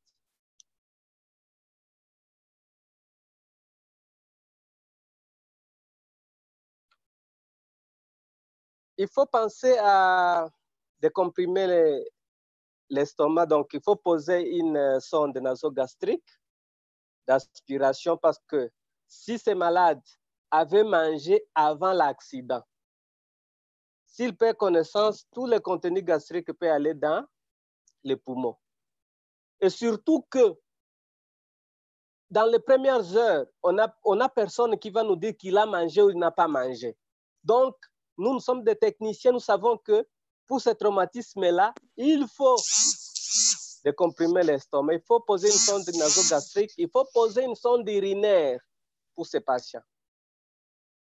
Il faut rechercher du sang nous savons qu'à tel endroit, il peut y avoir du sang qui peut se disséminer. Il faut exposer les malades. Mais en exposant les malades, il faut lutter contre l'hypothermie. Nous allons parler de la triade létale dans le cas de traumatisme abdominal. Next, please. Et là, quand vous posez, vous voulez poser la sonde urinaire, il faut vous rassurer qu'il n'y a pas de lésion au niveau de l'urètre. Et là, tout patient qui présente un saignement au niveau du méa urétral, contre-indication de la sonde. Pourquoi? Parce que la sonde peut aggraver les lésions qui sont à l'intérieur que vous ne voyez pas. Il peut y avoir une rupture de la vessie. Vous, vous mettez votre sonde et vous entrez jusqu'au niveau de l'abdomen avec toute l'urine que vous amenez au niveau de l'abdomen. Du sang au niveau du méa urétral, contre-indication de la sonde urétrale. L'erreur du chirurgien ici, nous avons dit qu'il faut communiquer, bonne communication entre les urgences et les chirurgiens. Il faut lui donner le rapport, il doit déjà planifier euh, son équipe et comment prendre en charge les malades. Et pour ces, cas de patients, il y a une instabilité hémodynamique parce qu'il peut perdre beaucoup de litres de sang il y a des lésions intra-abdominales évidentes que vous, on peut déjà euh, suspecter à l'examen. Et il y a aussi des lésions que nous ne voyons pas à l'examen. Mais nous savons que dans tel type de traumatisme, on peut avoir telle lésion. Par exemple, un traumatisme fermé. On l'a tamponné par une voiture, il est tombé, il n'y a pas d'ouverture au niveau de l'abdomen. Mais seulement le mécanisme de l'accident peut déjà nous dire qu'il peut y avoir une rupture de la, de la rate, il peut y avoir un traumatisme au niveau du foie et les autres organes. Next.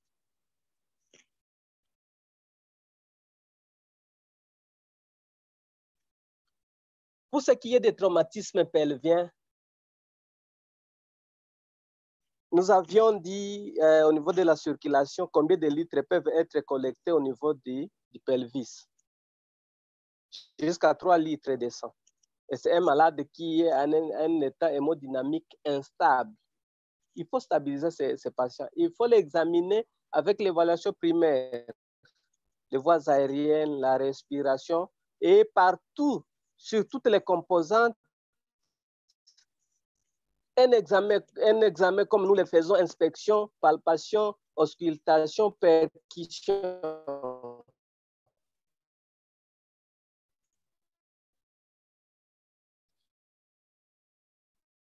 Mais quand on suspecte une la- encore les lésions, il faut envisager la possibilité d'une blessure du tractus urinaire quand il y a une lésion au niveau du, pelvis. Je pose une question. Un patient sur qui nous suspectons une fracture au niveau pelvien, à l'examen du méa urétral, ou chez la femme, nous constatons qu'il y a saignement au niveau vaginal. La question est la suivante. Cette fracture est-elle ouverte ou fermée? Quelqu'un peut répondre à cette question et argumenter. Traumatisme pelvien, on suspecte une fracture au niveau du pelvis et à l'examen du vagin, nous constatons qu'il y a un saignement, il y a un saignement au niveau du vagin. Est-elle une fracture ouverte ou fermée? Fer- Si fermée, pourquoi? Si ouverte, pourquoi?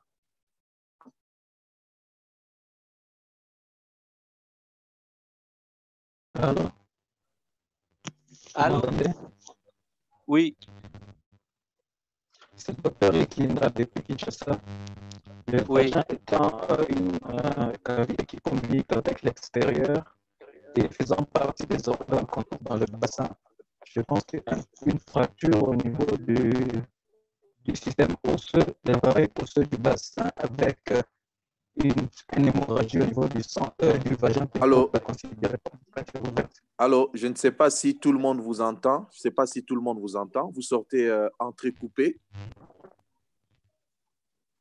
Alors, I don't know if uh, everybody is catching the, ça va the mieux, ça va mieux? discussion.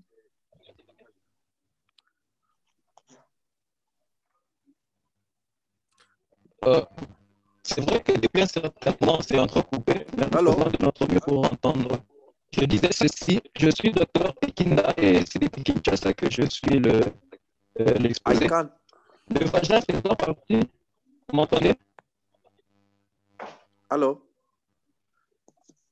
Can you catch me? Can you hear me? j'aimerais juste savoir si tout le monde entend, si tout le monde comprend euh, la discussion. Est-ce que tout le monde entend? Oui, on, en- on entend. On essaie de comprendre, mais ça Merci. semble aller. Merci, merci. On peut aller. Pardon? Which slide, please? Uh, uh, one, 100 and, um, over 110. 110. Okay, okay. I will tell you.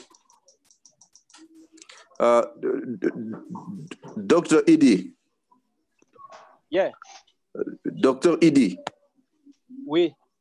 allô? Oui, allô? Oui, j'aimerais que vous euh, avancez Next, next. davantage pour euh, faciliter, euh, donner du temps pour le- les échanges aussi. Il y a des gens qui m'écrivent, hein, des gens qui m'écrivent et qui me disent qu'ils ont du mal à écouter parce que la communication euh, n'est pas très claire. Le- le- plutôt, j'allais dire, le- la ligne n'est pas bonne. Alors, je ne sais pas si le problème, c'est de quel côté? C'est de leur côté ou du côté de Dr. Bennett? Uh, Dr. Bennett, there are some people who are writing to me. They are asking, they can't uh, catch properly. Is it a problem from their uh, side or from your side? They don't know. Well, it's a bad connection. It's bad. It's uh, low bandwidth. It, it causes problems with uh, uh, sound, uh, with with uh, moving the slides.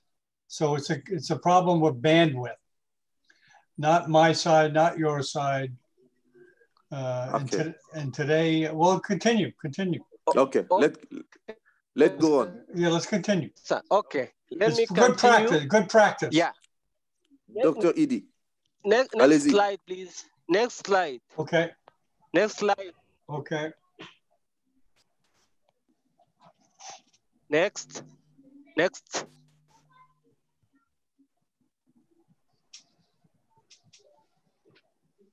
Again. Again. Yes, again. Yes, next. Again, next, next. Yes, next. Next. Next. Again. Again. OK.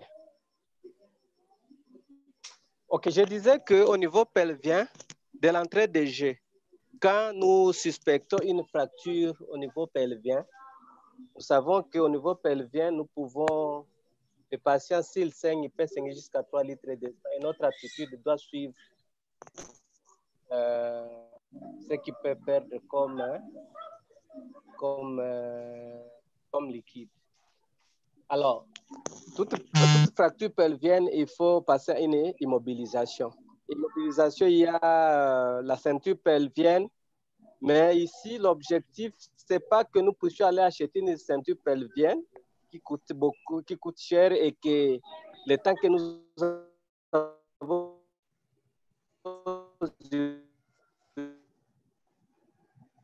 chance est moindre, première heure, nous avec le pagne, on fait la, la, les sangles et puis on stabilise le, la, fracture qui est au niveau pelvien. Mais quand ici, on va montrer ça dans le scénario, comment il faut mettre le pied quand vous stabilisez, vous mettez, euh, vous mettez la ceinture pelvienne. Alors, pour ce qui est euh, des investigations au niveau abdominal, au niveau abdominal, les investigations pour les moments, ce que nous pouvons avoir disponible directement avec nous. Et ce qui nous aide beaucoup plus, c'est l'échographie. Dans le cas des traumatismes, l'échographie qu'on appelle l'échographie FAST. L'échographie FAST, c'est les Focused euh, Assessment Sonography for Trauma. Donc, c'est l'échographie focalisée euh, focalisée euh, pour l'évaluation des dégâts en cas de traumatisme. Alors, pour cette échographie, nous avons quatre régions, donc quatre, euh, views, euh, four views. Donc, quatre incidences. Donc, nous avons quatre incidences. Il y a, au niveau de, au niveau de l'espace périhépatique, et là, nous sommes au niveau de la poche de Mori- Morisseau, où nous, cher- recherchons toutes les collections liqui- ou de- liquidiennes entre le foie et le rein droit. Au niveau gauche, il y a l'espace entre la rate et le rein, et, et le gauche. Au niveau, pelvien, au niveau pelvien, au niveau du pelvis, là, nous recherchons euh, des collections qui peuvent être là en post-traumatique. Et puis, enfin, il y a le niveau, au niveau de l'appendice xyphoïde. Et là, c'est l'espace périca- péricardique. Au niveau de l'appe- de l'appendice xyphoïde, on recherche une collection au niveau péricardique.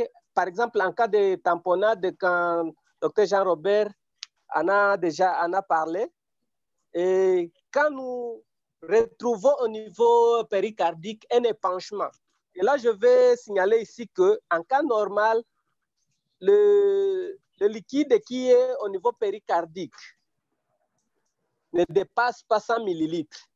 Alors, tout autre millilitre qui peut s'ajouter, ça cause un problème, ça cause, un problème au niveau du cœur pour ces mouvements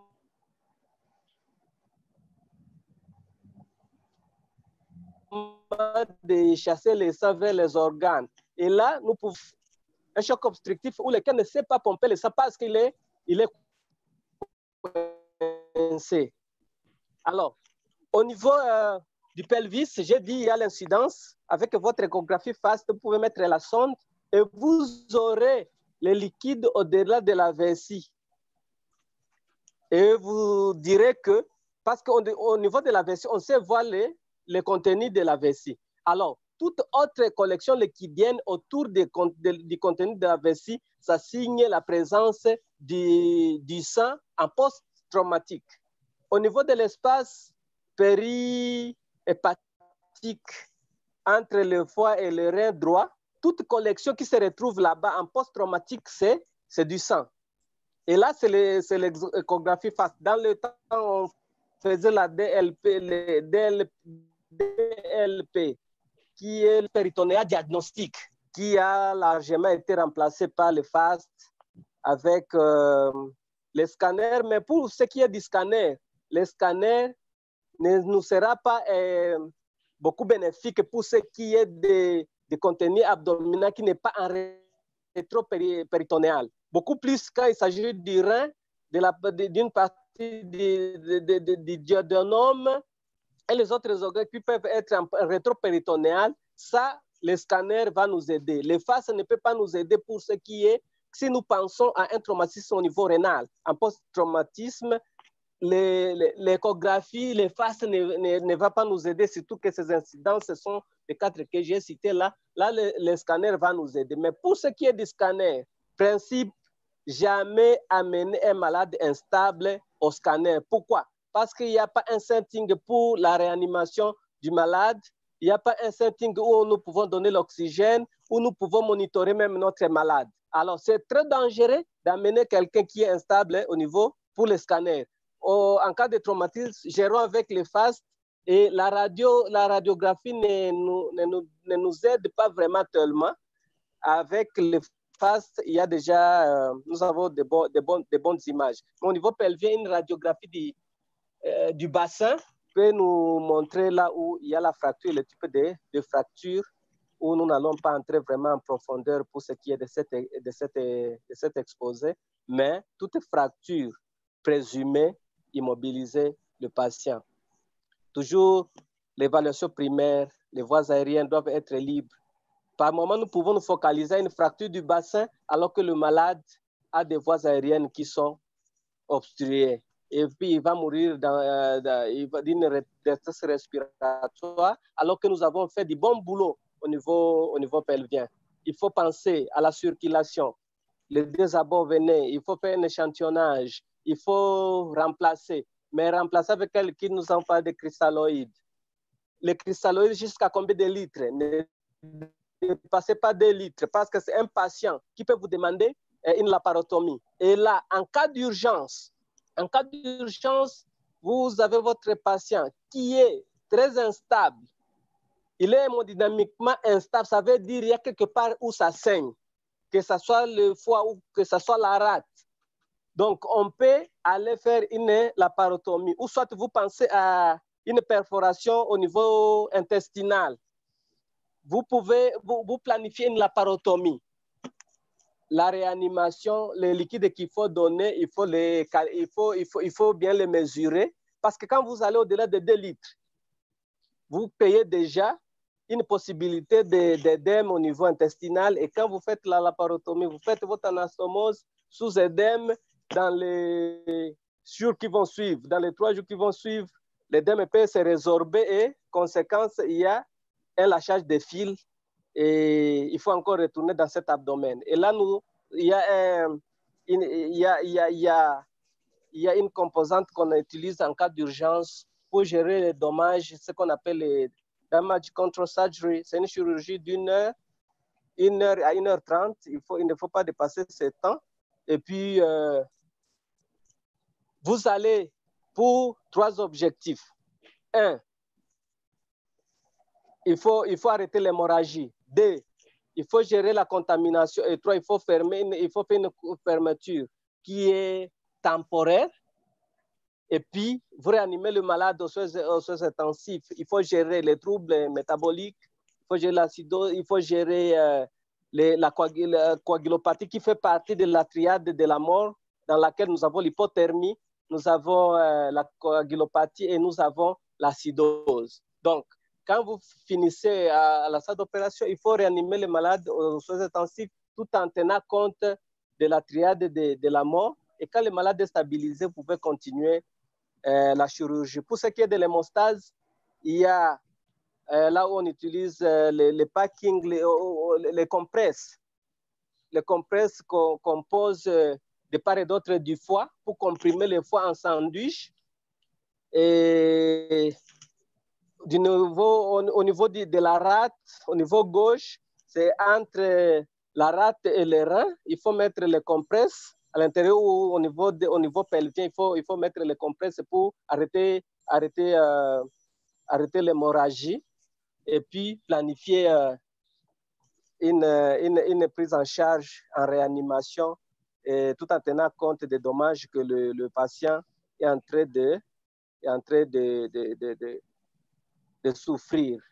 Et là, ayant dit cela, je pense que je peux ouvrir, je peux donner la parole au modérateur qui va introduire les panélistes, dont Dr Hervé et Dr euh, Jean-Robert, pour discuter et puis euh, séance de, questions, on, échange et puis je pense dans quelques minutes, euh, on va devoir peut-être, c'est le modérateur qui va...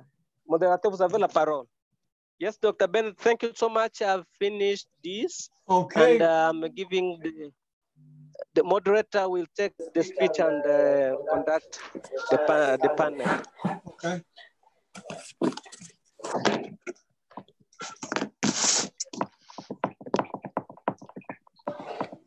Okay, do you want to finish up? No, no. The moderator, moderator is going to give to conduct uh, to conduct the discussion. Okay. Hello? Okay. Hello? Yes, can you hear me? Hello? Yes, I can. We can hear you. We can hear you. Can you hear me? Yes. Can you hear me? Est-ce que Yes. vous m'entendez? Yes. OK. Nous remercions beaucoup euh, le docteur euh, Idi pour euh, sa, sa présentation sur euh, les traumatismes de l'abdomen et du bassin. Alors, pour gagner du temps, je crois que c'est le moment des, des échanges, c'est le moment des, des discussions. S'il y a des questions, des préoccupations, n'hésitez pas à poser de questions. Et à l'équipe des panélistes aussi, euh, si vous avez des interventions, je crois euh, la balle sera à votre camp. Mais avant que vous puissiez euh, émettre vos commentaires, j'aimerais d'abord que ceux qui nous suivent, euh, médecins ou étudiants qui ont des préoccupations, qu'ils commencent par poser leurs questions et ensuite on reviendra vers les, les- les panélistes pour des amples commentaires et ajouts. Voilà. Allô, est-ce qu'il y a des questions?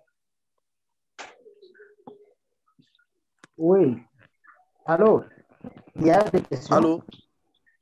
Oui, Allô? oui, allô? Allez-y, posez Docteur votre question. D'accord, merci. Euh, J'ai trois préoccupations. La première concerne euh, comment concilier évidemment l'urgence devant le traumatisme abdominal et l'examen minutieux, tout en étant d'accord avec le présentateur et primum non nocere, c'est-à-dire avant mais pas nuit. Ça, c'est la première question. Parce que nous voulons en fait que nous soyons plus méthodistes pour essayer de concilier l'urgence et euh, l'examen minutieux dont tu nous as fait allusion. Deuxième question, euh, comment arriver à mettre en évidence euh, une lésion? Irrétrale euh, qui va amener les, chirurgiens à redouter une pause, une mise d'une sonde vésicale, tout en faisant aussi évidemment euh, le diagnostic différentiel avec une fracture de pelvis. Troisième question, nous connaissons nos milliers de travail en RDC, euh, milliers étant moins équipés où l'échographie dont il a fait addition euh, à quatre views ne peut pas être disponible. À cas d'un hémopéritoine, j'aimerais savoir son point de vue par rapport à une ponction péritoniale directe pour essayer de mettre en évidence un hémopéritoine. Merci.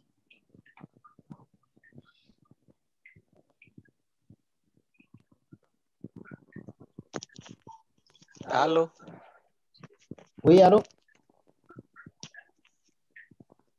Vous pouvez votre Est-ce que quelqu'un, un membre Oui, du, panel a euh, une- un commentaire ou une réponse à donner à, à cette question? Oui, bonjour, docteur.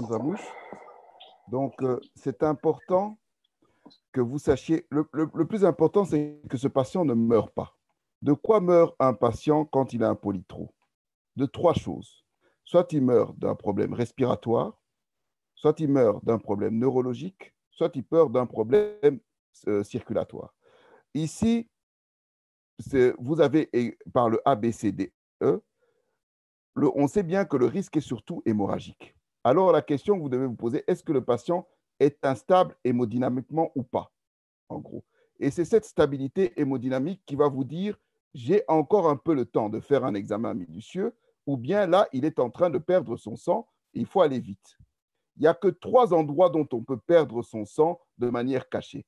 On a 5 litres à peu près. Il n'y a pas 36 000 endroits. Il y a le thorax, l'abdomen, le bassin rétropé. Donc là, si le patient est instable hémodynamiquement, vous devez vous dire, il saigne d'un de ces trois endroits. Et là, on va plus vite. Si le patient est stable hémodynamiquement, vous savez que même s'il y a une plaie euh, intestinale à l'intérieur, c'est vrai qu'il y aura un sepsis, mais ce n'est pas ce qui va le tuer tout de suite dans l'heure. On l'a vu lors du dernier exposé, ce qui tue rapidement et ce qui tue un peu plus loin. Donc là, vous avez un peu plus de temps de faire euh, votre examen. C'est ça donc au niveau de, la, de, ce qui va faire la minutie de l'examen ou pas, c'est l'urgence par rapport à l'instabilité hémodynamique. Je pense que vous aviez une deuxième question. Je sais que vous avez, posé une question sur les MEA. Euh, donc en fait, lorsqu'on a une fracture euh, du bassin, pour toute fracture du bassin, et a fortiori, lorsque l'espace euh, de la symphyse, au niveau de la symphyse pubienne, donc entre les deux pubis là, lorsque, lorsque cet espace est de plus de 1 cm, donc est, est au niveau de 2 cm, vous devez considérer que c'est une fracture euh, du bassin qui est grave, euh, assez grave pour le rendre le patient instable, ou assez grave pour avoir fait une lésion de l'urètre. Donc, jusqu'à preuve du contraire, pour une fracture de bassin, a fortiori lorsqu'il y a un espace au niveau de la symphyse pubienne qui a 2,5 cm, vous pouvez considérer qu'il y a une plaie de l'urètre. Et donc, vous allez dans ce sens-là. Il y avait une deuxième question que vous aviez posée, excusez-moi, j'aurais dû prendre un bic. Euh, il y avait un, une deuxième euh, question, je pense. Il y avait trois questions. La deuxième question m'échappe. Oui. Et la question concernait ceci, si vous le permettez. Oui. J'aimerais savoir, à terme pratique, là, je vois les conditions de travail qui sont les nôtres, oui. la fonction péritonéale oui. dans euh, la mise en évidence directe de l'hémopéritoine, en plus de ce que euh, le présentateur a parlé de l'échographie, ainsi de suite. Disons que c'est vrai que c'est une technique qui a été utilisée en Europe ici jusqu'aux environs de 2003, avant la, avant la. Donc, on faisait une ponction lavage péritonéal, une PLP, qui permet notamment, donc vous faites une petite incision périombilicale sous anesthésie euh, locale, et donc là, vous allez voir ce liquide. Si c'est du sang, ben, vous avez la réponse. Euh, certains même font un petit, quand on a la possibilité, faire un lavage intra-abdominal et on prend ce liquide-là et on l'envoie à l'analyse. S'il y a plus de globules blancs que de globules rouges, on se dit, ah, c'est peut-être une plaie intestinale. Si c'est le contraire, c'est peut-être une plaie hémorragique. Ça s'est fait jusqu'à jusqu l'avènement de la fast écho. Ça peut se discuter dans un milieu où il n'y a pas de, de fast et où on, se pose la question, mais toujours, toujours de grâce, prendre toutes les mesures de stérilité possibles, si on doit le faire. Okay, merci beaucoup. Allô, merci beaucoup. Est-ce qu'il y a d'autres questions, d'autres intervenants?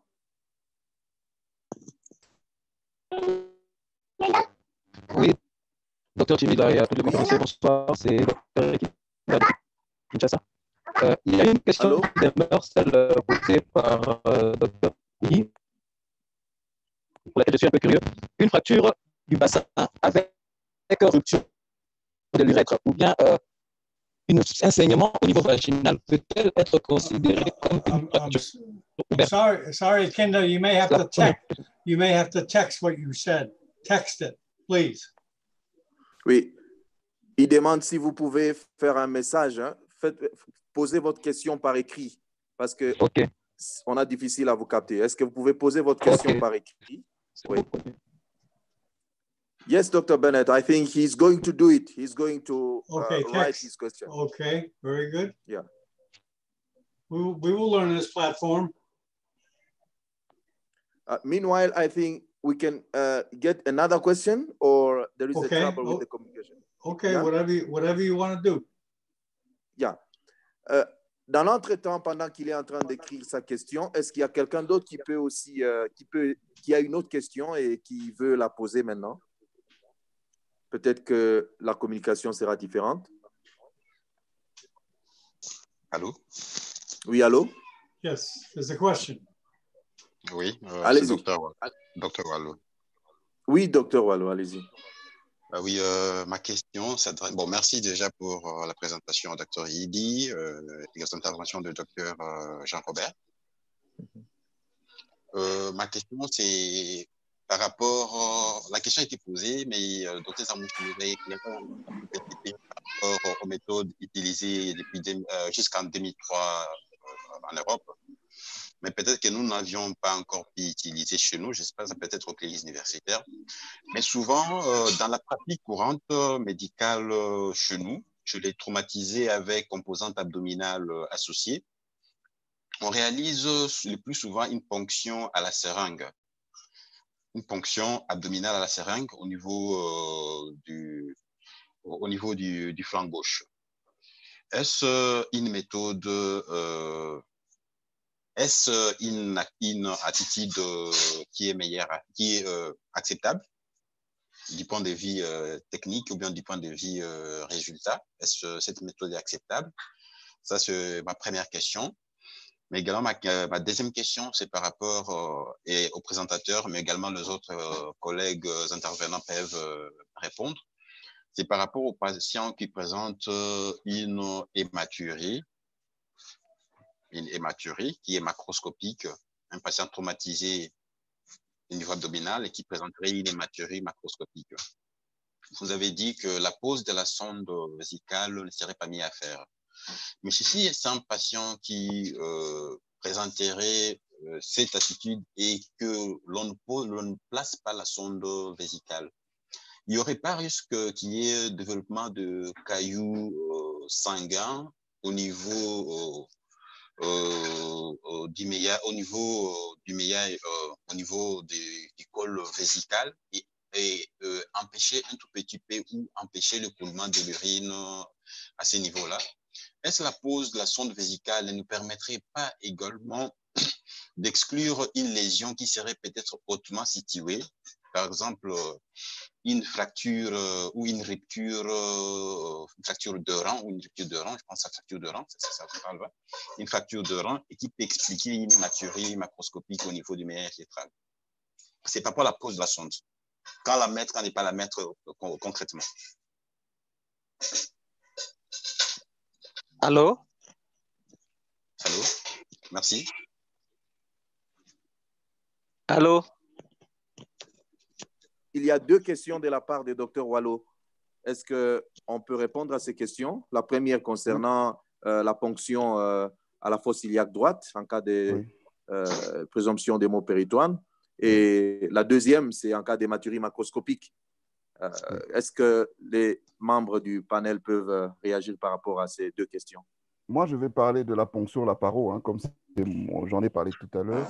Donc, en fait, le mieux, c'est vraiment de faire une petite mini-lap et sous contrôle de la vue, pouvoir faire ce prélèvement pour vraiment éviter euh, de, faire une lésion intestinale. Au, au niveau du flanc gauche, vous m'avez dit, il y a la rate, il, y a, il peut y avoir le côlon, euh, tout ça. Donc, vraiment de faire cette petite euh, incision.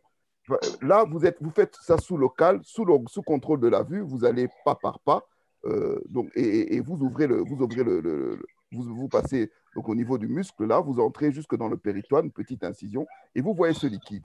Et alors, lorsque vous n'avez pas de liquide, imaginons qu'il y en a moins que vous pensez, c'est là que certains faisaient ce lavage où ils mettaient du physio, du, liquide physiologique, et ensuite ils, mélangeaient un peu dans le ventre, récupéraient ce liquide physiologique voyait son aspect et allait même jusqu'à quantifier le globule rouge, le globule blanc. Mais en tout cas, vraiment, c'est mieux vaut le faire sous contrôle de la vue qu'à l'aveugle, au risque de, de, sous, sans écho, au risque de faire pire que mieux. Vraiment, le faire sous le contrôle de la vue, vous avez moins de problèmes. Alors, pour la, pour la fracture, euh, bon, euh, mes collègues pourront répondre aussi, mais la fracture, euh, on, ne, on ne sonde pas lorsque l'on a une suspicion d'une plaie de l'urètre. Et on a une suspicion de plaie de l'urètre lorsqu'on a une fracture du bassin, notamment quand la symphyse pubienne est, est, impliquée. Mais ça ne veut pas dire qu'on ne quantifie pas les urines. C'est un patient polytraumatisé, il faut quand même suivre sa diurèse. Donc, c'est conseillé de mettre un cystocate, c'est-à-dire un cathéter suspubien. Ce cathéter suspubien pourra vous permettre éventuellement de, de voir l'hématurie et éventuellement de faire, de, de faire un lavage. Voilà. je vais je voulais faire oui. des commentaires sur les, la ponction à la fosse à euh, gauche. Allez-y. Souvenez-vous, lorsque, souvenez-vous encore, euh, lorsque le présentateur, euh, Dr. a montré, euh, il a parlé des fastes. Les sang se collectent le plus souvent. Il y a des poches spéciales où les sang se collectent lorsque nous, les patients s'étalent en, en, en, position euh, décubitus dorsale. Alors, il y a eu ces, tests diagnostiques qu'on faisait, il y a quand même une bonne pratique de ça. Les gens se sont, se sont inspirés de la ponction d'acide et ils ont pensé qu'ils pouvaient aussi ramener ça dans les traumas pour diagnostiquer possible, euh, possiblement les maux péritone.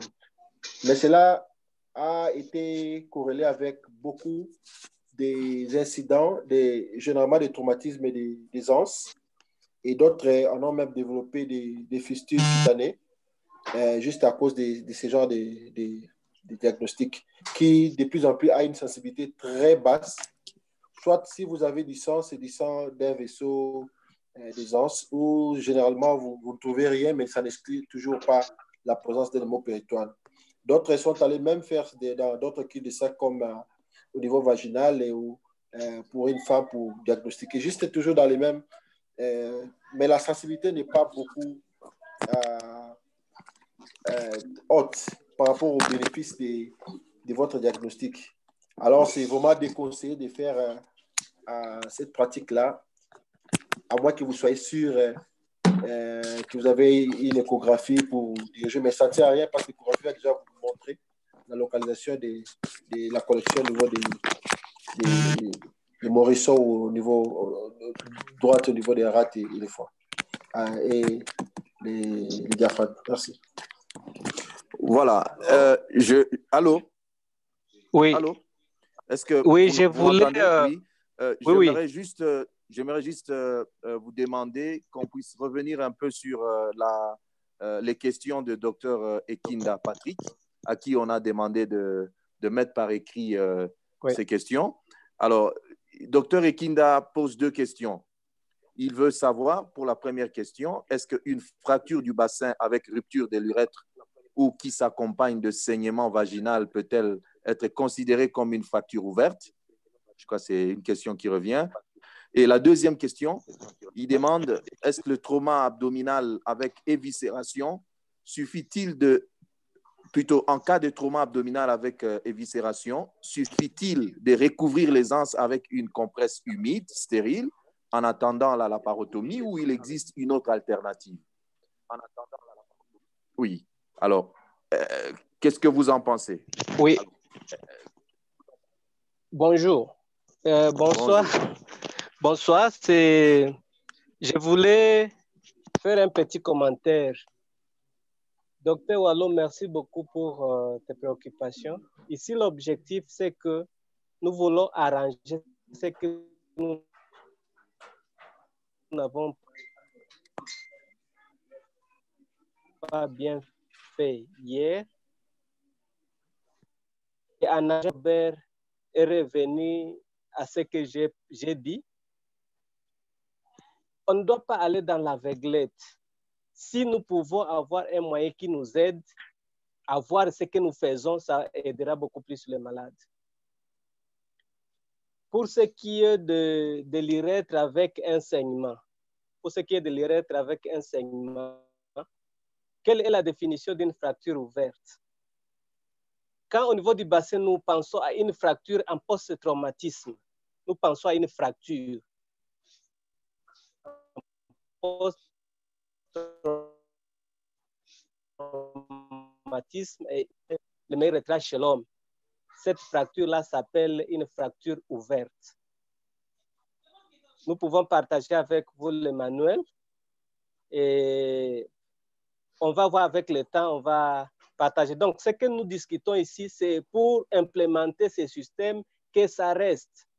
Il ne faut pas aller à l'aveuglette, il faut faire cette mini-lap comme euh, l'a dit euh, docteur Jean-Robert. Vous voyez ce que vous faites et dès que vous voyez, le sang directement, vous, avez le diagnostic.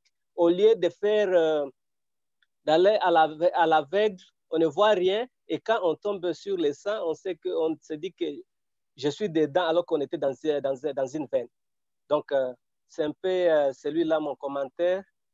Je remets encore la parole chez le modérateur.